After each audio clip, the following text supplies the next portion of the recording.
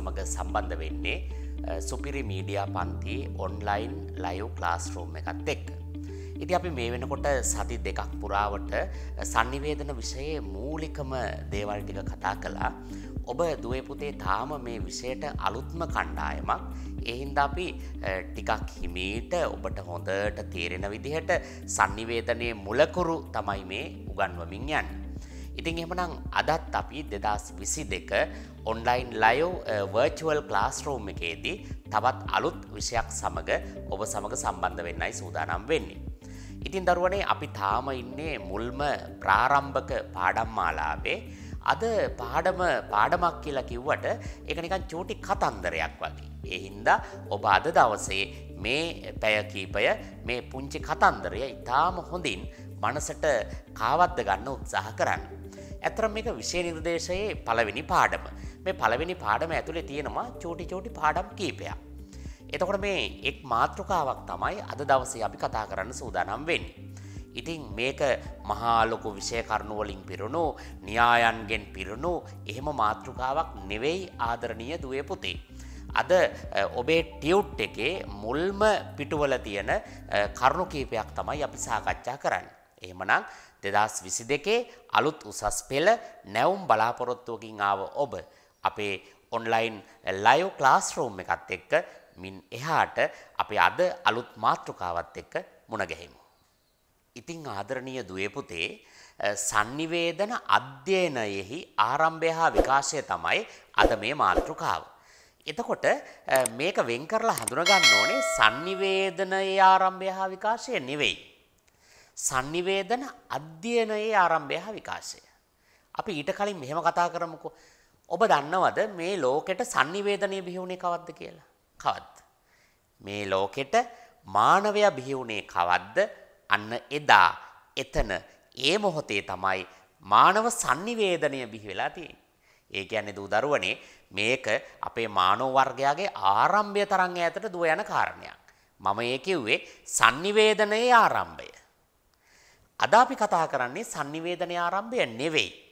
අපේ මාතෘකාව sannivedana අධ්‍යයනයෙහි ආරම්භය හා විකාශය. මොකද sannivedana අධ්‍යයනය කරනවා කියලා කියන්නේ? අපි ඉංග්‍රීසියෙන් කියනවා ස්ටඩීස් කියලා. ස්ටඩි කරනවා කියලා කියන්නේ ඉගෙන ගන්නවා කියලා කියන්නේ. ඒක තමයි sannivedana අධ්‍යයනය කියලා කියන්නේ. එතකොට දුවේ පුතේ sannivedanaya මේ ලෝකෙට බිහි වෙලා ගොඩාක් කාලයකට පස්සේ තමයි sannivedanaya කියන එක විෂයක් වුණේ. sannivedanaya කියන එක විෂයක් විදිහට ඉගෙන ගන්න පටන් ගත්තේ.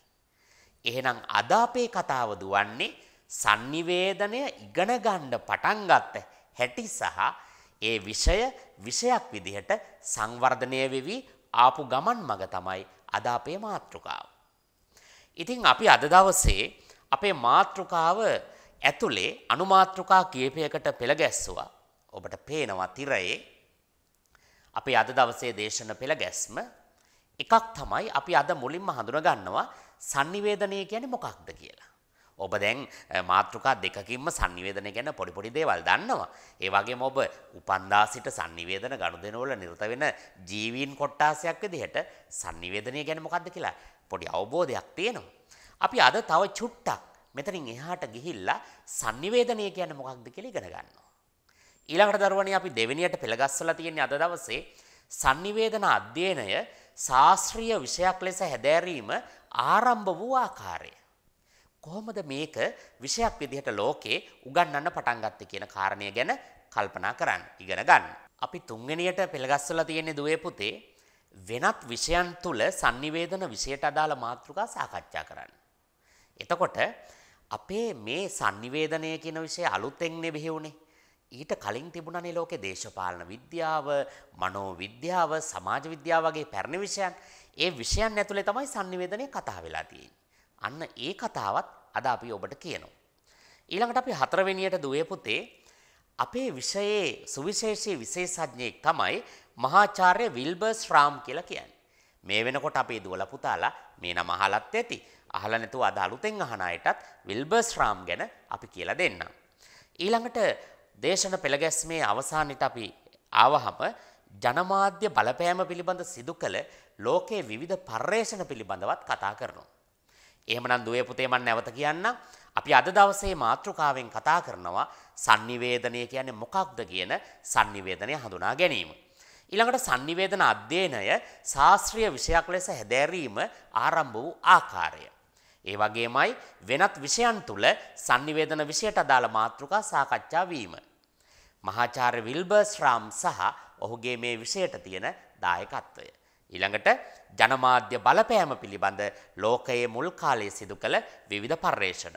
මෙන්න මේ කියන මාතෘකා පහ තමයි අද ඔබත් සමග අපි කතන්දරයක් විදිහට දිගින් දිගට සාකච්ඡා කරන්න. එහෙමනම් අපි බලමු sannivedanaya හැඳින්වීම කියන අපේ මුල්ම මාතෘකාව. ඇත්තටම දුවේ පුතේ මොකක්ද sannivedanaya කියන්නේ? අපි නිතර අහනවා. මට තියෙනවා මේ සම්බන්ධව පුංචි අත්දැකීමක්. ඒක ඔබට කියන්නම ඕනේ. මම විශ්වවිද්‍යාල ගුරුවරයෙක් විදිහට උගන්වන කාලේ දේශකවරයෙක් විදිහට කටයුතු කරන කාලේ අපේ උපාධි ඉවර කරපු දරුවෙක් එක්තරා සම්මුඛ පරීක්ෂණයකට මුහුණ දුන්නා රැකියාවක් සඳහා ඉල්ලුම් පත්‍රයක් යොමු කරලා. ඇතර මේ සම්මුඛ පරීක්ෂණ මණ්ඩලයේ මගේ මිතුරෙකුත් හිටියා. ඊට පස්සේ ඒ ලෙවල් කරලා තියෙනවා කිව්වහම කැම්පස් එකේ මොනවාද කරේ කියලා ඇහුවාම මීඩියා ඉගෙන ගත්තා කියලා කිව්වහම අහලා තියෙනවා sannivedanaya කියන්නේ මොකක්ද කියලා. මට ඒ මගේ ගෝලයා එහෙම නැත්නම් දරුවා මේක කිව්වේ නෑ. නමුත් සම්මුඛ පරීක්ෂණ මණ්ඩලයේ හිටපු ඒ සම්මුඛ පරීක්ෂණය සිදු කරපු පුද්ගලයා මට කිව්වා මගේ මිතුරා කිව්වා sannivedanaya කියන්නේ මොකක්ද කියලා ඇහුවාම ඒ දරුවා sannivedanaya ගැන මීඩියා ගැන පරතරට දැනුමක් තියෙනවලු. හැබැයි සරලව කෙටියෙන් sannivedanaya කියන්නේ මොකක්ද කියලා කියාගන්න බෑලු. ඔළුව කහනවලු, බිම හරනවලු. ඉතින් නොයෙක් අපහසුතාවයන්ටපත් වෙනවා. ඇත්තටම sannivedanaya කියන්නේ මොකක්ද?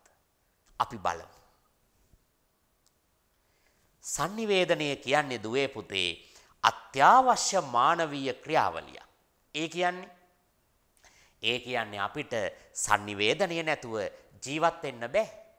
ඔයාට පුළුවන්ද අම්මා තාත්තා එක්ක කතා කරන්න නැතුව ඉන්න? අපි සමහර ලාවට ගෙදර පොඩි පොඩි අරගල කරලා පරාජය වුණාම අම්මා තාත්තත් එක්ක සහෝදර සහෝදරියොත් එක්ක කතා නැතුව ඉන්නවා තමයි. හැබැයි අපිට ටික වෙලාවකින් එහෙම ඉන්න එපා වෙනවනේ. දැන් ඕගොල්ලෝ අහලා ඇති මේ බුදුහාමුදුරුවන්ගේ කාලේ බුදුහාමුදුරුවන්ගේ තිබුණා බ්‍රහ්ම දණ්ඩනය කියලා පොඩි නීතියක් ක්‍රමයක් හදාගත්ත වැඩපිළිවෙලක්. ඒකෙදි විනය විරෝධී ක්‍රියාවන් සිදු කරන හාමුදුරුවරු එක්ක අනිත් හාමුදුරුවරු කතා කරන්නේ. එතකොට බලන්න එතන දීපු දඬුවම මොකක්ද? කතා නොකර සිටීම. දැන් ඔයත් එක්ක ඔයාගේ අවට ඉන්න හැමෝම දෙනා තරහ වෙලා කතා නැතුව හිටියොත් එහෙම ඔයාට ඉන්න පුළුවන්ද? අවුල් වෙනව නේද? අන්න ඒක තමයි මේ කියන්නේ. දැන් අපිට උදේට කන්න නැතුව ඉන්න පුළුවන් ටික වෙලාවක් යනකම්. නේ හවසට දවල්ට පොඩ්ඩක් තේ එකක් බොන්න නැතුව කන්න නැතුව ඉන්න පුළුවන්. ඒත් එහෙම ඉන්න අතරේ අපිට පුංචි සද්දයක් ඇහුනොත් අපි ඒ සද්ද මොකක්ද කියලා බලන්න නැතුව අපිට ඉන්න පුළුවන්. බෑ.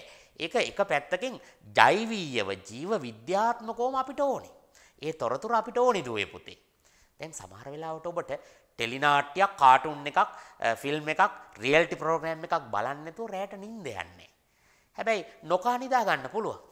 මේකෙන් කියන්නේ දරුවනේ sannivedanaya කියලා කියන්නේ අත්‍යවශ්‍ය මානවීය ක්‍රියාවලියක්. sannivedanaya නැත්තම් අපි කොහොමද අදහස් වමාරු කරගන්නේ? sannivedanaya නැත්තම් අපි කොහොමද තොරතුරු ලබාගන්නේ? තව කෙනෙකුට තොරතුරු දෙන්නේ? එහෙමනම් අපි ඉගෙන ගමු sannivedanaya යනු කුමක්ද? sannivedanaya එක පැත්තකින් අත්‍යවශ්‍ය මානවීය ක්‍රියාවලියක්.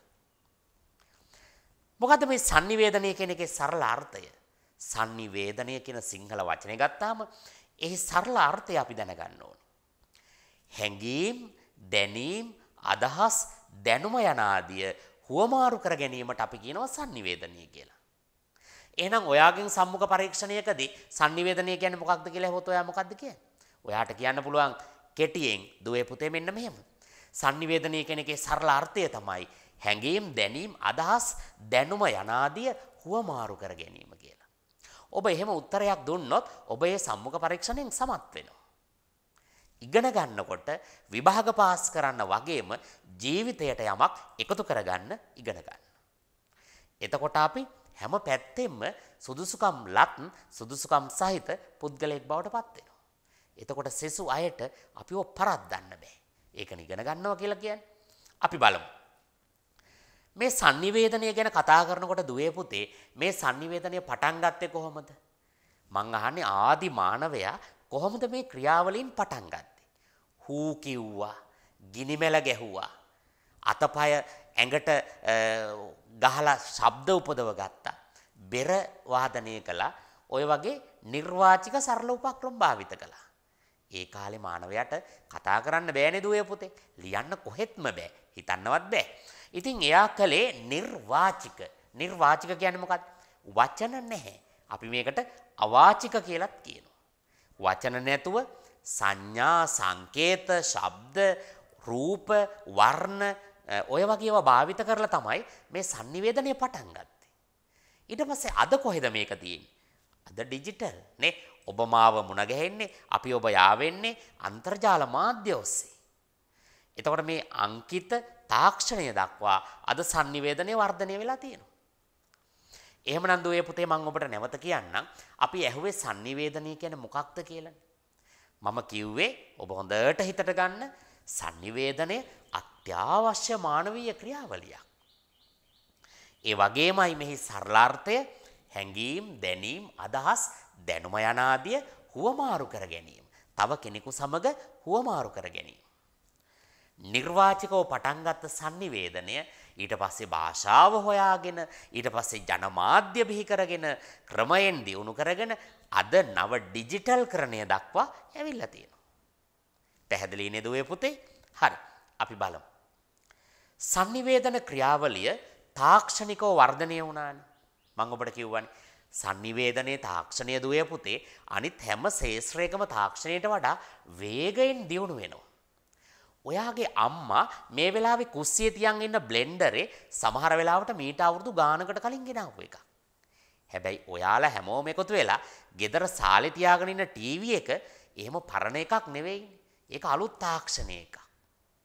එතකොට ඔයාගේ අතේ තියෙන ජංගම දුරකථනය දැන් ඔයා කියලා කියන්නේ සත පහක ආදායමක් නොලබන පාසල් අධ්‍යාපනය ලබන දරුවෙක්නේ. ඒ වුණාට අතේ තියෙන ජංගම දුරකථනයේ වටිනාකම මං ඇහුවොත් ඒක මේ සමහර වෙලාවට මිල කරන්න බෑනේ. එතකොට මේ තාක්ෂණය වර්ධනය වෙලා තියෙනවා. එතකොට මේ ජනමාධ්‍යයේ sannivedanයේ වර්ධනයත් එක්කම එන්න එන්න බලපෑම වැඩි වෙලා තියෙනවා. දැන් ඔබ දන්නවනේ ඔබේ ජංගම දුරකථනය දෙමව්පියෝ සමහරලාට පොළොවේ ගහන්න හොයනවනේ. ඒ මේ බලපෑම වැඩිවීමේ ප්‍රතිඵලය. දැන් නම් ගුරුවරු විදිහට අපි නවමාධ්‍ය භාවිත කරන්න පොළඹවලා තියෙනවා මේ වර්තමාන තත්ත්වෙත් එක්ක. නමුත් පන්ති කාමරය ඇතුලේ ෆෝන් එකක් එහෙම ඔබ ඔබ හිටියොත් උස්සලා පොළොවේ ගහනවනේ. ඒ බලපෑම වැඩිවීම. අද අපේ සමාජයට ටෙලිනාට්‍ය එහෙම නැත්නම් රියල්ටි ප්‍රෝග්‍රෑම් මේ කියන ජනමාධ්‍ය සංදේශවල බලපෑම ගොඩාක් වැඩි. ඊටත් වඩා වැඩි දුවේ පුතේ නවමාධ්‍ය බලපෑම. ඔබ දන්නවනේ අන්තර්ජාලය ඒ ඇතුලේ තියෙන සමාජ මාධ්‍ය කොතරම් බලපානවද අපිට. නේ අපේ ජන ජීවිතේ මහා විදිහට වෙනස් කරලා තියෙනවා. ඊළඟට මාධ්‍යයෙන් බැහැරව හුදකලාව ජීවත් වීමට සක්‍රීය පුරවැසියෙකුට නොහැකි වෙලා තියෙනවා. දැන් අපි අපේ ජංගම දුරකථනය අමතක වුණොත් එහෙම නැවත ඇවිල්ලා ඒක අරගෙන යනවා. අපිට වෙන ජීවිතයේ සමහර සමහර ඒවා අමතක වුණාට ඒවා නැති වුණාට අපි ඒ වෙනුවෙන් අරගල කරන්නේ නැහැ. නමුත් දුවේ පුතේ මාධ්‍යෙන් බැහැරව අපිට ඉන්න බෑ. අපි නිකන් පුරුද්දට වගේ ටීවී එක දාගන්නවා. අපි නිකන් පුරුද්දට වගේ ෆෝන් එක අරගෙන එහා මෙහා කරලා බලනවා මොනවද ඇවිල්ලා තියෙන අලුත් මැසේජ් කියලා. අපි සක්‍රීය මිනිස්සු විදිහට අපිට මාධ්‍යයෙන් බැහැරව හුදකලාව ජීවත් වෙන්න බෑ. ඒක තමයි යථාර්ථය. ඊළඟට දරුවනේ පුද්ගලයා සමාජ ජීවියෙකු ලෙස අපි සමාජ ජීවීන්නේ අපි වනගත වෙලා කැලේ ඉන්න අය නෙවෙයිනේ අපි සමාජයේ ඉන්න අය. එතකොට පුද්ගලයා සමාජ ජීවියෙකු ලෙස තොරතුරු පරිහරණයෙන් වැළකී සිටීම හෝ වළක්වාලීම කරන්න බෑ. දැන් අපි එළියට බහිනකොට අපෙන් අහනවා සමහරලාවට අද මැච් එකේ ලකුණු කීයක් ගැහුවද කියලා. එතකොට අපි දන්නේ නැත්තම් මොකද වෙන්නේ? අපිට බූගත වෙන්න වෙනවනේ මේ සමාජය අපිට ජීවත් වෙන්න බෑ. කවුරු හරි ඇහුවොත් එහෙම කිසියම් රටක ජනාධිපති කවුද කියලා? ඇමරිකාවේ ජනාධිපති කවුද? ඒ තොරතුරු නොදැන අපිට සමාජයේ ජීවත් වෙන්න බෑ දරුවනි. එහෙනම් සමාජය බලාපොරොත්තු වෙනවා අපි පුද්ගලයෝ මේ තොරතුරු දන්නවා දැනගෙන ඉන්න ඕනි කියන කාරණේ. එහෙනම් මේ තොරතුරු සමාජය ඇතුලේ අද තියෙන නූතන දියුණු සමාජය ඇතුලේ තොරතුරු පරිහරණයෙන් වැළකීලා හුදකලාව ඉන්නට කිසිම මිනිහෙකුට නොහැකි වෙලා තියෙනවා. මම මේ ඔබට ගොනු කරන්නේ එක පැත්තකින් sannivedana තාක්ෂණය දියුණු වුණා. අනිත් පැත්තෙන් එන්න එන්නම මාධ්‍ය බලපෑම සමාජයට වැඩි වුණා. ඒ වගේම මේ මාධ්‍යයෙන් බැහැර වෙලා ගනුදෙනු කරන්න ජීවත් වෙන්න මිනිස්සුන්ට බැරි වුණා. ඊට පස්සේ තොරතුරු කියන එකෙන් වෙන් වෙන්න ඈත් වෙන්නත් මිනිස්සුන්ට නොහැකි වුණා. මෙන්න මේ කියන කාරණා මම ඔබට කිව්වේ කුමක් කියන්නද? මාධ්‍ය අධ්‍යයනයේ ප්‍රබල සමාජ අවශ්‍යතාවයක් තියෙනවා කියලා කියන්නේ. දැන් මාධ්‍ය සමාජයට බලපානවා. මාධ්‍ය නැතුව අපිට ඉන්න බෑ. මේ වගේ තත්ත්වයන් එක්ක අපි මාධ්‍ය ගැන ඉගෙන ගන්න නැතුව ඉන්නත් බැරි වුණා. එයි කොහොමද අපි මාධ්‍ය ගැන දන්නේ නැත්නම් මාධ්‍ය ඇසුරු කරන්නේ? අපි කොහොමද මාධ්‍ය ගැන දන්නේ නැත්නම් මාධ්‍යෙන් ඵලදායී විදියට ප්‍රයෝජන ගන්නේ?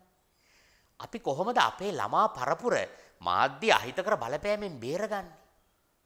මෙන්න මේ කියන කරුණු හින්දා මාධ්‍ය අධ්‍යයනයේ ප්‍රබල සමාජ අවශ්‍යතාවයක් පස්සේ කාලෙක ගොඩ නැගුණා. එතකොට දුවේ පුතේ මෙහෙම තේරුම් ගන්නකො. ලෝකෙට මාධ්‍ය බිහි වෙනවා. ඊට පස්සේ ඒවා දියුණු වෙනවා. අපි මාධ්‍යත් එක්ක සම්බන්ධ වෙනවා. ඔහොම යනකොට යනකොට යනකොට මාධ්‍ය කියලා විෂයක් ඒ කාලේ තිබුණේ නැහනේ. ඕන වෙනවා. මාධ්‍ය ගැන ඉගෙන ගන්න ඕන වෙනවා. මාධ්‍ය විසින් මවනු ලබන මායාව හා යථාර්ථය වෙන් වෙන් වශයෙන් හඳුනා ගැනීමට ශක්තිය ඇති කරන පුද්ගලයාට අත්‍යවශ්‍ය වන මාධ්‍ය සාක්ෂරතා ඥාණයෙන් ඔහුව සන්නද්ධ කිරීම සඳහා තමයි මාධ්‍ය අධ්‍යාපනය කියන එක තියෙන්නේ. එහෙමනම් අපි නැවත බලමු. ඔබ අලුත් අය ඔබට මේ වචන ටිකක් අලුත් වෙන්න පුළුවන්. මම ඊටාම සරලව කියලා දෙන්නම්. මාධ්‍ය විසින් මවනු ලබන මායාව කියන්නේ මොකද්ද දුවේ පුතේ? මාධ්‍යෙන් බොරු කියනවා. මාධ්‍යෙන් සුරංගනා ලෝකමවන. දැන් අපි ගත්තොත් එහෙම මාධ්‍ය ඇතුලේ තියෙනවා සුරංගනා කතා. ටෙලිනාට්‍ය ස්වරූපයෙන් නාට්‍ය ස්වරූපයෙන් විවිධාකාරයට සුරංගනා ලෝකමවනවා. එතකොට සැබෑ ලෝකය සහ මේ මායාව එහෙම නැත්නම් මේ කියන අලුත් මවන සුරංගනා ලෝකයේ අතර ලොකු වෙනසක් තියෙනවා. මේක තේරුම් ගත්තේ නැත්නම් අපේ ළමා පරපුර මායාව ඇත්ත කියලා හිතනවා. දැන් අපි බලන සුරංගනා කතාවල ඉන්න සුරංගනාවියෝ දෙවිවරු ඒ මහා ප්‍රාතිහාර්යයන් අපේ සැබෑ ලෝකේ තියෙනවද? නෑනේ. අපි පොළොවට බැහැලා පය ගහලා ඇවිදගෙන යනකොට මේ මායාවට වඩා වෙනස් යථාර්ථයක් නේ අපිට තියෙන්නේ. අපි ටෙලිනාට්‍යයක් ගමුකෝ. ටෙලිනාට්‍යයෙන් කතා කරන ඔය සුන්දර ලෝකය එහෙම නැත්නම් ඒකේ තියෙන හැම එකක්ම ඇත්තද? නෑනේ. ඒවා නිකන් මවපුවා, හදපුවා, ගොඩනගපුවා. හැබැයි ඒකෙන් වෙන් වෙලා අපිට යථාර්ථය තේරුම් ගන්න පුළුවන් වෙන්න ඕන. මම මේ කතාව පුංචි වෙළඳ දැන්වීමකින් පැහැදිලි කරන්නම්කෝ උදාහරණ කතා නොකර. දැන් සමහර වෙළඳ දැන්වීම් වල කෑම බීම පිළිබඳ ඇඩ් දානවනේ. කෑම බීම විකුණන වෙළඳ දැන්වීම් තියෙනවා. ඒවල කියනවා එක ආහාර වර්ගයක් පෙන්වමින් කියනවා විටමින් වර්ග ඔක්කොම තියෙනවා කියලා. A B C කියන්නේ නැති අකුරක් නෑ. ඉංග්‍රීසි හෝඩියම විටමින් වර්ග මේ ආහාරේ තියෙනවා කියලා කියනවා. එතකොට ඔබ දන්නවා ඔබ සාමාන්‍ය පෙළට ඉගෙනගෙන තියෙනවා පෝෂණය පාඩම ආහාර පාඩම සාමාන්‍යයෙන් එක ආහාරයක විටමින් වර්ග සීමිතයි නේ. දැන් බත්වල තියෙන වර්ගය පිෂ්ඨය ඊළඟට මස් මාළු වල තියෙන වර්ග මේදය ප්‍රෝටීන් ඔහොම වෙන් වෙනවනේ. නේ එතකොට එක නිශ්චිත ඒ විකුණන වෙළඳ භාණ්ඩයක ඒගොල්ලෝ කියනවා මේ විටමින් වර්ග පෝෂණයන් ඔක්කොම තියෙනවා කියලා. අන්න මායාව.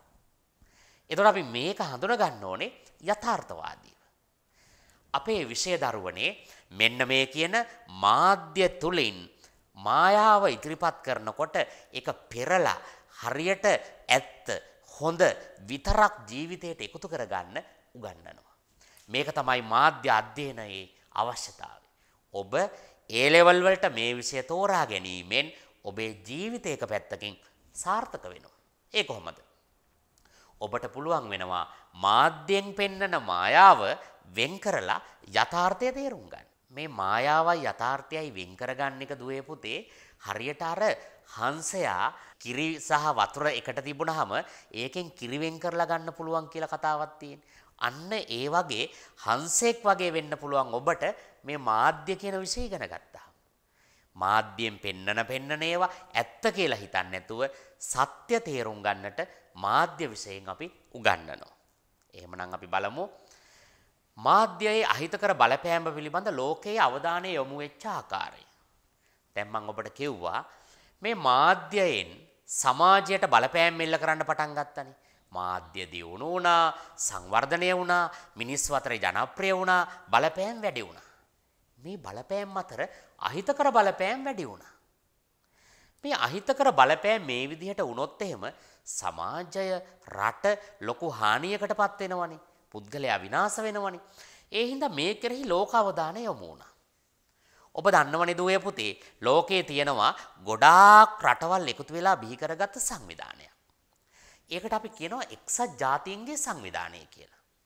මේ සංවිධානය බිහි කරගත්තේ නැවත ලෝක යුද්ධ ඇතිවීම වළක්වා ගැනීමට සහ රටවල් වල සංවර්ධනය ආරම්භ කරගෙන.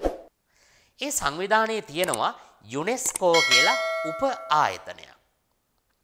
මේ යුනෙස්කෝ කියන උප ආයතනය රටවල් වල අධ්‍යාපනය සංස්කෘතිය විද්‍යාව ඔය වගේ කාරණාවල සංවර්ධනය වෙනුවෙන් පෙනී සිටින සංවිධානයක්. එතකොට මේ සංවිධානය අවධානය යොමු කළා දරුවනේ මාධ්‍යයේ අහිතකර බලපෑම් පිළිබඳව. ඒගොල්ලෝ සමුළු ගණනාවක් තිබ්බා මාධ්‍යයෙන් කොහොමද ලෝකවාසීන් බේරගන්නේ කියන කාරණය ගැන කතා කරන්නේ. එහි ඓතිහාසික එක් සමුළුවක් තමයි ගෘන් වර්ල්ඩ් සමුළුව කියලා කියන්නේ. එතකොට මේ ගෘන් වර්ල්ඩ් සමුළුවෙන් කිසියම් ප්‍රකාශයක් ඒගොල්ලෝ සම්මත කරගත්තා. එක්දාස් නමසය අසූ දෙක වසරේ ගෘන්වර්ල්ඩ් ප්‍රකාශනය යුනෙස්කෝ සංවිධානය අවධානය යොමු කරපු මේ ප්‍රකාශනයේ තමයි මාධ්‍යයේ අහිතකර බලපෑම් පිළිබඳ ලෝක අවධානය රාජ්‍ය මට්ටමෙන් ලෝක මට්ටමෙන් නිල වශයෙන් යොමු වෙච්ච මුල්ම අවස්ථාව. අපි ඉදිරි පාඩම් මාලාවේ මේ ගෘන්වෝල් සමුළුව ඒක මොන රටේද තිබුණේ මොන නගරේද ඒ ආදී විස්තර ඔක්කොම කතා කරන ඔබ දැනට මතක තියාගන්න දරුවනේ මාධ්‍යයේ අහිතකර බලපෑම පිළිබඳ ලෝකයේ මුල්ම නිල අවධානය යොමු කළේ යුනෙස්කෝ සංවිධානය. ඒ එක්දස් නවසය අසු දෙකේ. ඒගොල්ලන්ගේ ගෘන් වර්ල්ඩ් කියන සමුළුවේදී කිසියම් ප්‍රකාශනයක් නිකුත් කලා මේ අහිතකර බලපෑම මේ විදිහට යන්න දෙන්න බැහැ සමාජයේ ළමයින් බේරගන්න ඕනි කියන කාරණය. මාධ්‍යය අහිතකර බලපෑමෙන් විශේෂයෙන්ම ළමා හා තරුණ පරපුර මුදවා ගත යුතු බව ඔවුන් අවධාරණය කළා. ඒ කාරණෙත් එක්ක අපි එනවා sannivedana අධ්‍යයනයේ ආරම්භයට පදනම් වූ සාධක පිළිබඳව කතා කරන්න. දුවේ පුතේ මේ ඔබ දකින්නේ තිරේ දකින්නේ sannivedanaya කියන විෂය ආරම්භ වෙන්න පදනම් වෙච්ච මූලික කරුණු තුන. අපි බලමු එකක් තමයි මානව අන්තර් සම්බන්ධතා සහ sannivedana අතර පවතින අවියෝජනීය සම්බන්ධතාවය. ඒ කියන්නේ සරලව කියන්නම්කෝ මිනිස් ක්‍රියාකාරකම් එක්ක sannivedanaya ගොඩාක් සම්බන්ධයි. උදාහරණයකින් පැහැදිලි කරගමුකෝ. අපිට බඩගිනි වුණාම අම්මට කියන්න ඕනේ බඩගිනි කියලා. ඔන්න මානව අන්තර් සම්බන්ධතා. අම්මයි ඔයයි අතර සම්බන්ධකම්. Sannivedanaya ඕනේ නේද? කෑම ඉල්ලන්න, බඩගිනි බව ප්‍රකාශ කරන්න. එතකොට අම්මත් ඔයාට යම් යම් මේවා කියනවා. තාම කෑම හැදිලා නැහැ. තව චුට්ටක් ඉවසන්න ඔය ආදි විදියට කියනවා. ඉතින් මේ මානව අන්තර් සම්බන්ධකම් යන්නේ sannivedanayat එක්ක. ඒ කාරණෙන් අපි මොකද්ද කියන්න හදන්නේ? ජන ජීවිතය සමග මිනිස්සුන්ගේ අන්තර් ක්‍රියාකාරකම් සමග sannivedanaya වෙන් කරන්න බැරි තරම් අවියෝජනීය කියන්නේ වියෝජනය කරන්න බැරි තරම් වෙන් කරන්න බැරි තරම් බද්ධ වෙලා තියෙනවා. අපි නැගිටින්නේ sannivedanayat එක්ක සම්බන්ධ වෙමින්. නේ? අපි නිදාගන්නේ sannivedanayat එක්ක සම්බන්ධ වෙමින්. ඒ අතරතුර දෛනික දිනචර්යාව ඇතුලේ අපි කොච්චර sannivedanayat එක්ක සම්බන්ධද දරුවනේ? මේක එක කාරණයක්. දෙවෙනි කාරණය අපි බලමු. ප්‍රාථමික sannivedana ක්‍රියාකාරකම් සංකීර්ණ වෙලා දියුණු වීමත් sannivedanaya කියන විෂය බිහි වෙන්න බලපාපු කාරණයක්. මම ඔබට කිව්වනේ ප්‍රාථමික sannivedana ක්‍රියාකාරකම් ගැන. ඉස්සර කාලේ මිනිස්සු සතා පිලිස්සෙන ගිනි මැල ඉදිරියේ රංගනයේ යෙදුණා. ඔන්න ප්‍රාථමික sannivedana ක්‍රියාකාරකම්. සතා මරපු හැටි, සතා උස්සගෙන ආපු හැටි, ඌ කෑ ගහගෙන දුවන්න හදපු හැටි රංගපාලා පෙන්නවා අර ගල්තලාවේ ඒ ගිනිමෙල යාලෝක ඉදිරියේ නටලා. ඔන්න ප්‍රාථමික sannivedana ක්‍රියාකාරකම්. අද සංකීර්ණයි, දෙවුණුයි. අපි අද මේ හැම ක්‍රියාකාරකමක්ම දකින්නේ ටීවී එකෙන් නැත්තම් අන්තර්ජාලයෙන්. නේද? මේක තමයි සංකීර්ණ බව. මේක තමයි දියුණු වීම. එහෙනම් එන්න එන්න එන්න එන්න sannivedanaya දියුණු වීම මේ sannivedanaya අධ්‍යයනය කරන්නට ලෝකය පොළඹවපු දෙවෙනි ප්‍රධාන කාරණේ විදිහට අපි දකිනවා. තුන්වෙනි කාරණේ අපි බලමු. sannivedana තාක්ෂණයේ දියුණුව ජනමාධ්‍යන්ගේ වර්ධනය සහ මාධ්‍ය විසින් සමාජය වෙත කරන ලද බලපෑමේ ස්වභාවය.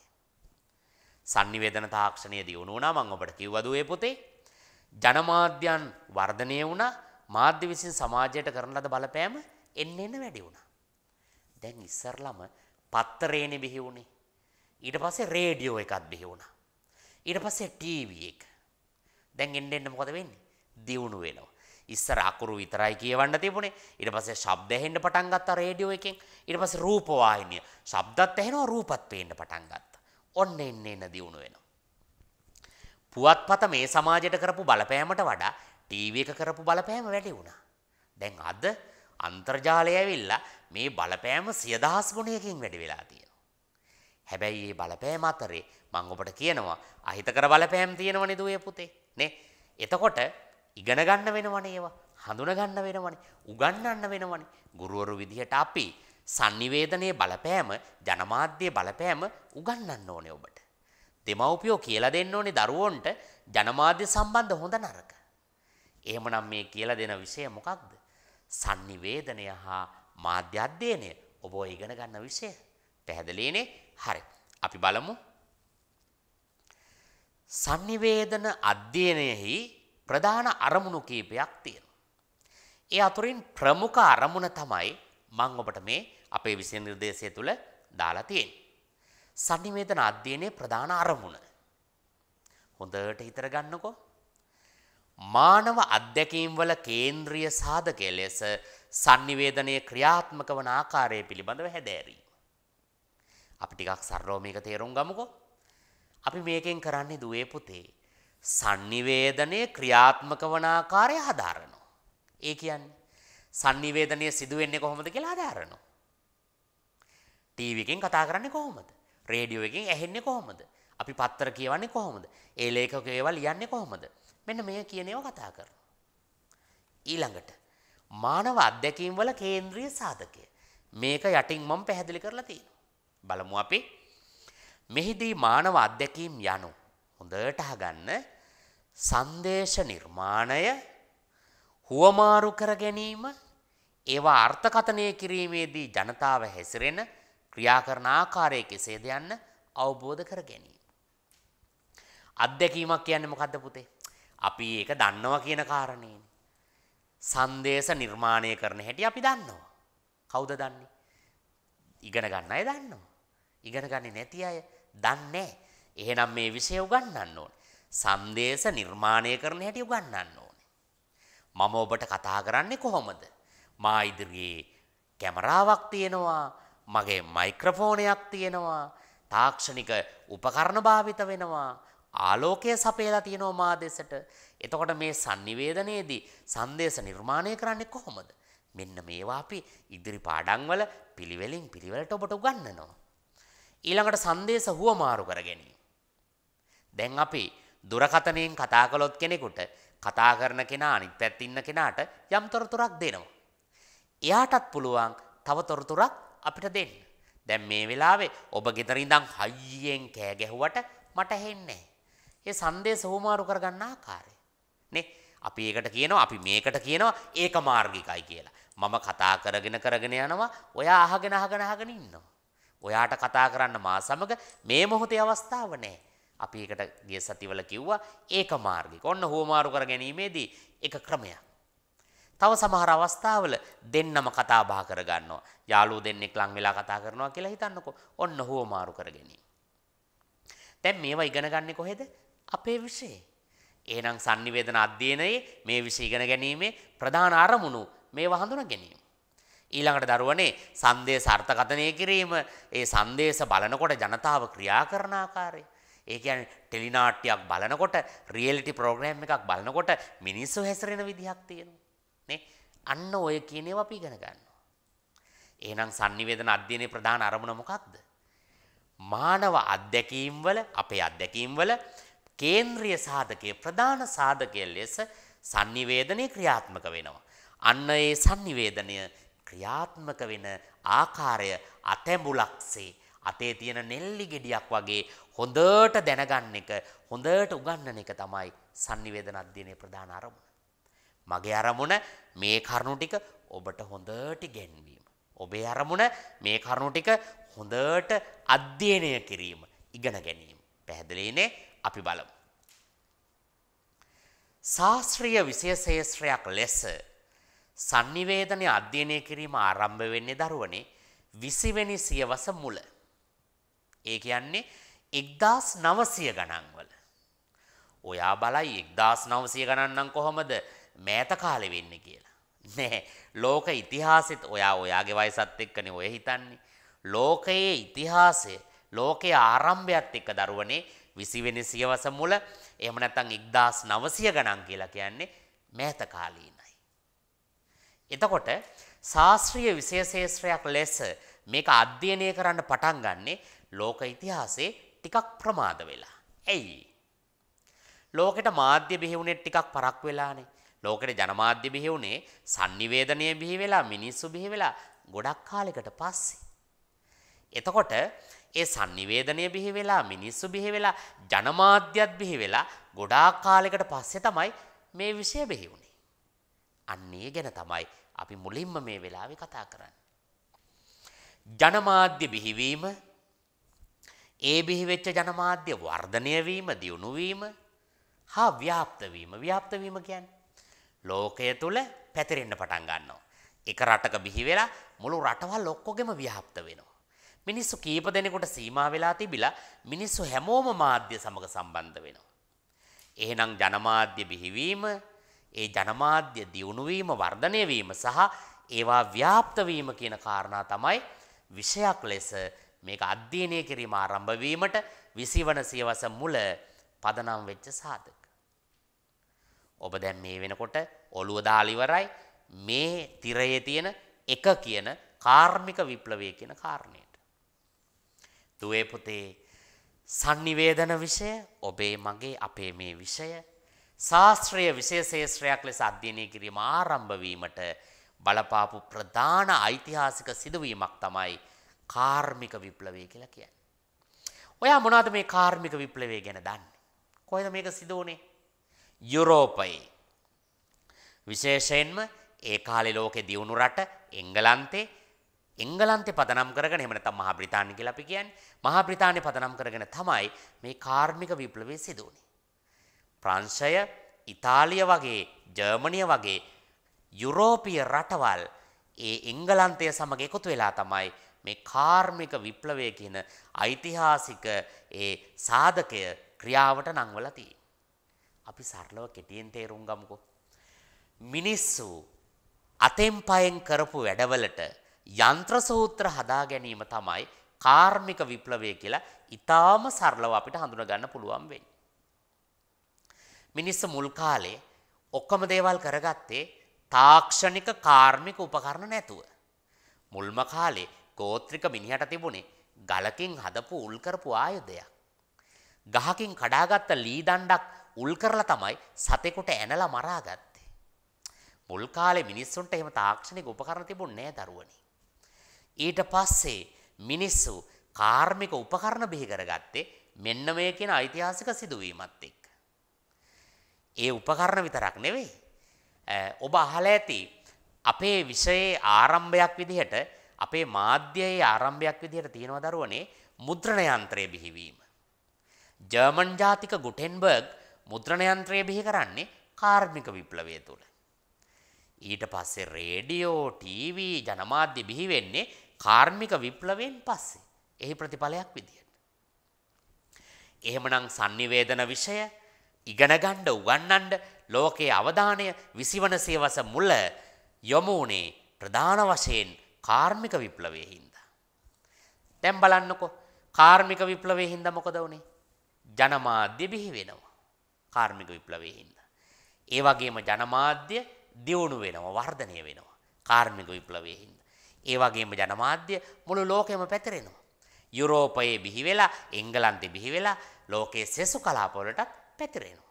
එහෙනම් කාරණේ පැහැදිලිනේ. කාර්මික විප්ලවය කියන්නේ හොඳට මතක තියාගන්න. මේවයෙන් විභාගවලට ප්‍රශ්න එනවා. ශාස්ත්‍රීය විෂයක් ලෙස මීඩියා කියන විෂය ලෝකෙට උගන්වන්න බලපාපු ප්‍රධානම කාරණයක්. ඊළඟට දෙවෙනි කාරණයට අපි යමු. පළමුවන හා දෙවන ලෝක යුද්ධ. ඕගොල්ලෝ අහලා ඇතිනේ ලෝකයේ මේ වෙනකොට ඊටාම තීරණාත්මක යුද්ධ දෙකක් සිදු වෙලා තියෙනවා. එකක් පළමුවන ලෝක යුද්ධය අනිත් එක දෙවන ලෝක යුද්ධය. යුද්ධ කොහොමද විෂය පෝෂණයට විෂය දියුණුවට විෂය ආරම්භයට මැදිහත් වුණේ. මැදිහත් වුණා දූ දරුවනි. දැන් මේ පළවෙනි ලෝක යුද්ධේ තියෙන කාලේ ලෝකය එතරම් දියුණු නෑනේ. එතකොට පළවෙනි ලෝක යුද්ධෙදී මිනිස්සු ඒ කියන්නේ මේ යුද්ධයට සම්බන්ධ වෙච්ච රටවල් තමන්ගේ යුද්ධ තොරතුරු ගෙන ගියේ ඊටාම ප්‍රාථමික ක්‍රමවලට. වයර් ඇදලා වයර් දිගේ ගෙනිච්චා. එහෙම නැත්නම් ඕගොල්ලෝ අහලා ඇතෙන ඉස්සර කාලේ රජ කාලේ මුල් කාලේ යුද තොරතුරු ගෙනිච්චා අස්සයොන්ගේ පිටේ නැගලා එක අස්වාරෝහකයෙක් ගිහින් දෙනවා සංදේශය ඊළඟ තැනකට. එයා එතනින් එහාට ගිහින් දෙන. ඔහොම ඔහොම තමයි රජු ළඟට සංදේශ ගෙනිච්චේ. එහෙම නැත්නම් ඔය අහලා ඇතිනේ ඊතලයක ගැට ගහලා ඈතට විදිනවා. ඉතින් ඊතලේ යන දුරක් තියෙනවනේ. ඒක සීමිතයිනේ දරුවනේ. එතකොට මේ යුද්ධවලදී ඕන වුණා ඊට වඩා වේගයෙන් තොරතුරු හෝමාරු කරන්න. ඊළඟට මේ යුද තොරතුරු සතුරන් අතට ගියහම මොකද වෙන්නේ? අවුල් වෙනවා. නේ? සතුරන්ට යුද තොරතුරු යන්න බෑනේ. එතකොට රහස්‍ය ලෙස මේ යුද තොරතුරු ඊටාම සූක්ෂමව ඈතකට යවන්න ඕන වුණා. මෙහි වගකීම බාරගත්තේ බාර දුන්නේ විද්‍යාඥයින්ට. එතකොට පළමුවන ලෝක යුද්ධයේදී යම් ආකාරයකට මාධ්‍ය තාක්ෂණය දියුණු කරගන්නට විද්‍යාඥයන්ට පුළුවන් වුණා. ඊළඟට ඊට වඩා දියුණු ආයුධ වලින් ගහගත්තේ දෙවන ලෝක යුද්ධ කාලේ. පළවෙනි ලෝක යුද්ධ කාලේ බයිනෙත්තුවෙන් ඇන්නට දෙවෙනි ලෝක යුද්ධ කාලේ ඊට වඩා වෙනස්. තුවක්කු වලින් වෙඩි තියෙනවා. ඔබ අහලා ඇති නේ පරමාණු බෝම්බ පවා භාවිත කළ ප්‍රබල යුද්ධයක් මේක. ඒ යුද්ධෙදී මුළු ලෝකෙම දෙකට බෙදුණා. එතකොට දෙවන ලෝක යුද්ධයේදී එක පැත්තකින් ජර්මනියේ හිට්ලර් ප්‍රමුඛ කණ්ඩායම අනිත් පැත්තෙන් එංගලන්තයේ යුරෝපයේ ගොඩක් රටවල් ඔහම වෙන් වුණා. එහෙම වෙන් වෙලා මේගොල්ලෝ මේ යුද්ධ කරනකොට යුද්ධ තොරතුරු හෝමාරු කරගන්නට දියුණු මාධ්‍ය බිහි කරගත්තා. එහෙමනම් දැන් අපි නැවත බලමු. ශාස්ත්‍රීය විශේෂේත්‍රයක් ලෙස sannivedanaya එහෙම නැත්නම් මාධ්‍ය අධ්‍යයනය කිරීම ආරම්භ වෙන්නේ විසිවන සියවස මුල් කාර්තුවේ. ජනමාධ්‍ය ලෝකෙට බිහිවීම, ඒ ජනමාධ්‍ය වර්ධනය වීම, ඒ ජනමාධ්‍ය ව්‍යාප්ත වීම තමයි මේ සඳහා බලපාපු කාරණය. ඒ වගේම ලෝකයේ තුල සිදුවෙච්ච ඓතිහාසික කාර්මික විප්ලවය පළමු හා දෙවන ලෝක යුද්ධ තමයි මේ කියන අධ්‍යයනය ඉක්මන් කරපු සුවිශේෂී ඓතිහාසික සාධක. ඊළඟට දරුවනේ ඊටාම වැදගත් කාරණයක්. ජනමාධ්‍ය ජන සමාජයන්ට සිදු කළ අහිතකර බලපෑම. මං ඔබට මුල ඉඳන් දිගින් දිගටම කිව්වා ජනමාධ්‍ය ලෝකෙට බිහිවීම හොඳ කරුණක් සුභවාදී කරුණක්. හැබැයි මේ හැම දෙයකම අහිතකර පැත්තක් තියෙනවනේ දරුවනේ. මෙන්න ඒ පැත්ත. ජනමාධ්‍ය ලෝකෙට බිහි වෙලා ජනමාධ්‍ය ජන සමාජයට අහිතකර බලපෑම් ගොඩක් සිදු කරන්න පටන් ගත්තා. ඒ ජනමාධ්‍ය බලපෑමට ලක්වෙච්ච දරුවෝ තරුණයෝ ගොඩාක් වෙනස් වෙන්න පටන් ගත්තා නරක විදිහට. ලෝක යුද්ධ අවසන් වුණා. අපි කතා කරපු ලෝක යුද්ධ ඉවර වුණා. යුද තොරතුරු වාර්තා කිරීම හා හුවමාරු කිරීමට ඒ කාලේ භාවිත කරපු ජනමාධ්‍ය ජනතාවට විනෝදය හා තොරතුරු ලබා දෙන්නට යොදාගත්තා. ඔන්න බලන්නකෝ එක පරිවර්තිත අවස්ථාවක්. යුද්ධ වෙලාවේ මේ ලෝකේ ජනමාධ්‍ය ඔක්කොම භාවිත කළේ යුද්ධය සඳහා. ගොඩාක් ජනමාධ්‍ය බිහි කරගත්තේ දියුණු කරගත්තේ යුද්ධය සඳහාමයි. යුද්ධ තොරතුරු හුවමාරු කිරීම සඳහාමයි. යුද්ධ ඉවර වුණානේ. විශේෂයෙන්ම දෙවන ලෝක යුද්ධය ඉවර වුණාට පස්සේ වාසනාවකට වෙනත් යුද්ධ ආවේ නෑනේ ලෝකෙට. එතකොට මේ ජනමාධ්‍ය භාවිත කළේ යුද්ධ තොරතුරු හුවමාරු කරන්නනේ යුද්ධ කාලේ. දැන් යුද්ධය ඉවරයි. දැන් ජනමාධ්‍ය ප්‍රී වෙනවා. එහෙම නැත්නම් නිදහස් වෙනවා. යුද්ධ තොරතුරු නෑ. ඔන්න පටන් ගන්නවා සාමාන්‍ය මිනිස්සු වෙනුවෙන් තොරතුරු හුවමාරු කරන්න. මේක කතාවක් දුවේ පුතේ හොඳට අහගෙන ඉන්න මේක පාඩමකට වඩා මුල මැද අග ගලපන හොඳ කතාවක්. සාවධාන වෙන්න මේකට අදාළ සටහන් ටික ඔබට වෙබ් අඩවියේ ලැබුණාම ඔබට මේක තවත් සාර්ථක කරගන්න පුළුවන්. එතකොට දුවේ පුතේ අපි මේ ජනමාධ්‍ය යුද්ධ ඉවර වෙනවත් එක්කම පොදු ජනමාධ්‍ය බවට පත්වීම කියන කාරණය තමයි දැන් කතා කරන්න හදන්නේ. දැන් යුද්ධ ඉවරයි ජනමාධ්‍ය නිදහස් මම ඔබට කිව්වා. ඔන්න දැන් පටන් ගන්නවා මිනිස්සුන්ට අවශ්‍ය. ඒ කියන්නේ සාමාන්‍ය මිනිස්සුන්ට අවශ්‍ය තොරතුරු ලබා දෙන්න පටන් ගන්නවා. ටික ටික. ඒ වගේම යුද්ධයෙන් පීඩාවට පත් වෙලා හිටපු මිනිස්සුන්ට පුංචි පුංචි විනෝදාස්වාදනයන් ගෙන දෙන්න මාධ්‍ය සංදේශ හදනවා. ඔන්න දැන් එතකොට යුද්ධ ඉවර වීම ඊට පස්සේ ඇති වෙච්ච සමාජ වාතාවරණයත් එක්ක මිනිස්සුන්ගේ තොරතුරු හුවමාරුවට සහ යුද්ධයේදී ඔබ දන්නවනේ දරුවනේ විනාශයන් ගොඩක් සිදු වෙනවා. තමන්ගේ ඥාති හිත මිතුරන් මැරෙනවා, දේපල විනාශ වෙනවා. ඊට පස්සේ මිනිස්සුන්ගේ මනස ටිකක් අවුල් වෙච්ච කාලවකවානුවක්නේ පශ්චාත් යුද අවස්ථාව, යුද්ධයට පස්සේ අවස්ථාව. ඒ වෙලාවේ විනෝදය සපයන්නටත් ඔන්න මැදිහත් වෙනවා ජනමාධ්‍ය. එතකොට දූදරුවනේ යුද්ධයෙන් පීඩාවට පත්ව සිටි ජනතාවගේ බිඳ වැටුණු මානසිකත්වය ඉලක්ක කරගෙන මාධ්‍ය ඔස්සේ සරල විනෝදය ගෙන දෙන්නට පටන් ගත්තා. මේක ඒ සමාජ ක්‍රමය තුළ ඒ වෙලාවේ ඇතිවෙච්ච තත්ත්වයක්.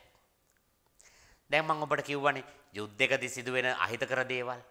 එහෙම පීඩාවට පත් වෙලා හිටපු සමස්ත ලෝකයට ටිකක් විනෝදය ඕන වුණා. මිනිස්සු විනෝදය හොයාගෙන යන්න පටන් ගත්තා. මිනිස්සුන්ට විනෝදාස්වාදන මාර්ග එතරම් තිබුණේ නෑනේ යුද්ධ වෙලාවේ. මිනිස්සු බයින් බිරාන්ත වෙලානේ හිටියේ.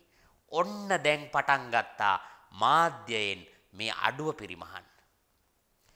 ත්‍රාසය, බීතිය, වීරත්වය, ලිංගිකත්වය කියන සාධක අඩංගු කරලා සංදේශ හදන්න පටන් ගත්තා. මාධ්‍යකරුවෝ. එතකොට මේ ත්‍රාසය, බීතිය, වීරත්වය, ලිංගිකත්වය කියන සාධක මතු කරන ටෙලිනාට්‍ය හැදුවා. චිත්‍රපට බිහි වුණා. ගීත සාහිත්‍ය පුවත්පත් බහුල වෙන්න පටන් ගත්තා. ඒ කියන්නේ දරුවනේ තනි ක්‍රම යුද්ධයෙන් පස්සේ යුද්ධයෙන් පීඩාවට පත් වෙලා හිටපු මිනිස්සුන්ට සරල විනෝදය දෙන්න මාධ්‍ය ඉදිරිපත් වුණා. ඒ ඉදිරිපත් වීම ඇතුළෙම ඔබට මේ සමහර සමහර ඒවා සාධක දැක්කහම පේනවා අහිතකර ප්‍රතිඵල ඇති වෙන්න ඇති කියලා. දැන් ත්‍රාසය බීතිය වගේ ඒවා ඒ කියන්නේ මිනිස්සුන්ව නැවත බය කරලා විනෝදය ලබලා දෙනවා. යුද්ධය අලලලම චිත්‍රපටි හැදුනා. යුද්ධය ගැනම නාට්‍ය පටන් ගත්තා. එතකොට දැන් අර යුද මානසිකත්වයේ තිබිච්ච මිනිස්සු යුද්ධය ඉවරනහම ආ යුද්ධය රස විඳින්න පටන් ගත්තා. මේක හොඳ එකක් නෙවෙයි දරුවනේ. ඊළඟට ලිංගිකත්වය වගේ සාධක. අපි නිකන් සරලව ඔබට තේරෙන්න කියමු කුණුහරුප පෙන්වන්න පටන් ගත්තා. මාධ්‍ය තුලින්. එතකොට මේව ප්‍රශ්න බවට පත් වුණා. ඒව ප්‍රශ්න වෙනවනේ. එතකොට යුද්ධයෙන් පීඩාවට පත්ව සිටි ජනතාවගේ බිඳවැටුණු මානසිකත්වය ඉලක්ක කරගෙන මාධ්‍ය ඔස්සේ සරල විනෝදය ගෙන දෙන ත්‍රාසය භීතිය වීරත්වයේ ලිංගිකත්වය වගේ වට මුල් තැන දීපු නිකන් අපි කියනවා අර සරල විනෝදය මතු පිට විනෝදය ඒ මොහොතේ බලලා සතුට වෙන ඉවර වෙන ඒවා ඔන්න ඔය වගේ ඒවා මතු කරන ටෙලිනාට්‍ය පටන් ගත්තා චිත්‍රපටි ගීත සංගීත ඊට පස්සේ පුවත්පත් මාධ්‍ය ගුවන්විදුලිය භාවිතෙත් මේකම තමයි. ඒ කාලේ නව මාධ්‍ය තිබුණේ නෑ වෙලාවට ජනමාධ්‍ය තුල තමයි මේ කියන தત્ත්වය ඇති වුනේ. පැහැදිලි නේද ඔය පුතේ? එතකොට මේ අපි කතා කරන කාරණාත් එක්ක අපිට එළඹෙන්න පුළුවන් නිගමනයක් තියෙනවා. ඔබ අවධානය යොමු කරන්න තිරය මත නිගමනය ඔබට දර්ශනය වෙනවා. මං ඔබට කියවන්න හොඳට අහගන්න දුවේ පුතේ. මෙකල ඒ කියන්නේ ඒ කාලේ වාණිජ පරමාර්ථයෙන් සහ බලය ලබා ගැනීමේ බලය තහවුරු කර ගැනීමේ අපේක්ෂාවෙන් මාධ්‍ය හිමිකරුවන් සහ දේශපාලන නායකයින් අත්තනෝමතික ලෙස ජනමාධ්‍ය භාවිත කළා. දැන් මේ කියන කාලේ අදත් එහෙමයි දුවේ පුතේ මාධ්‍ය අයිති කාටද?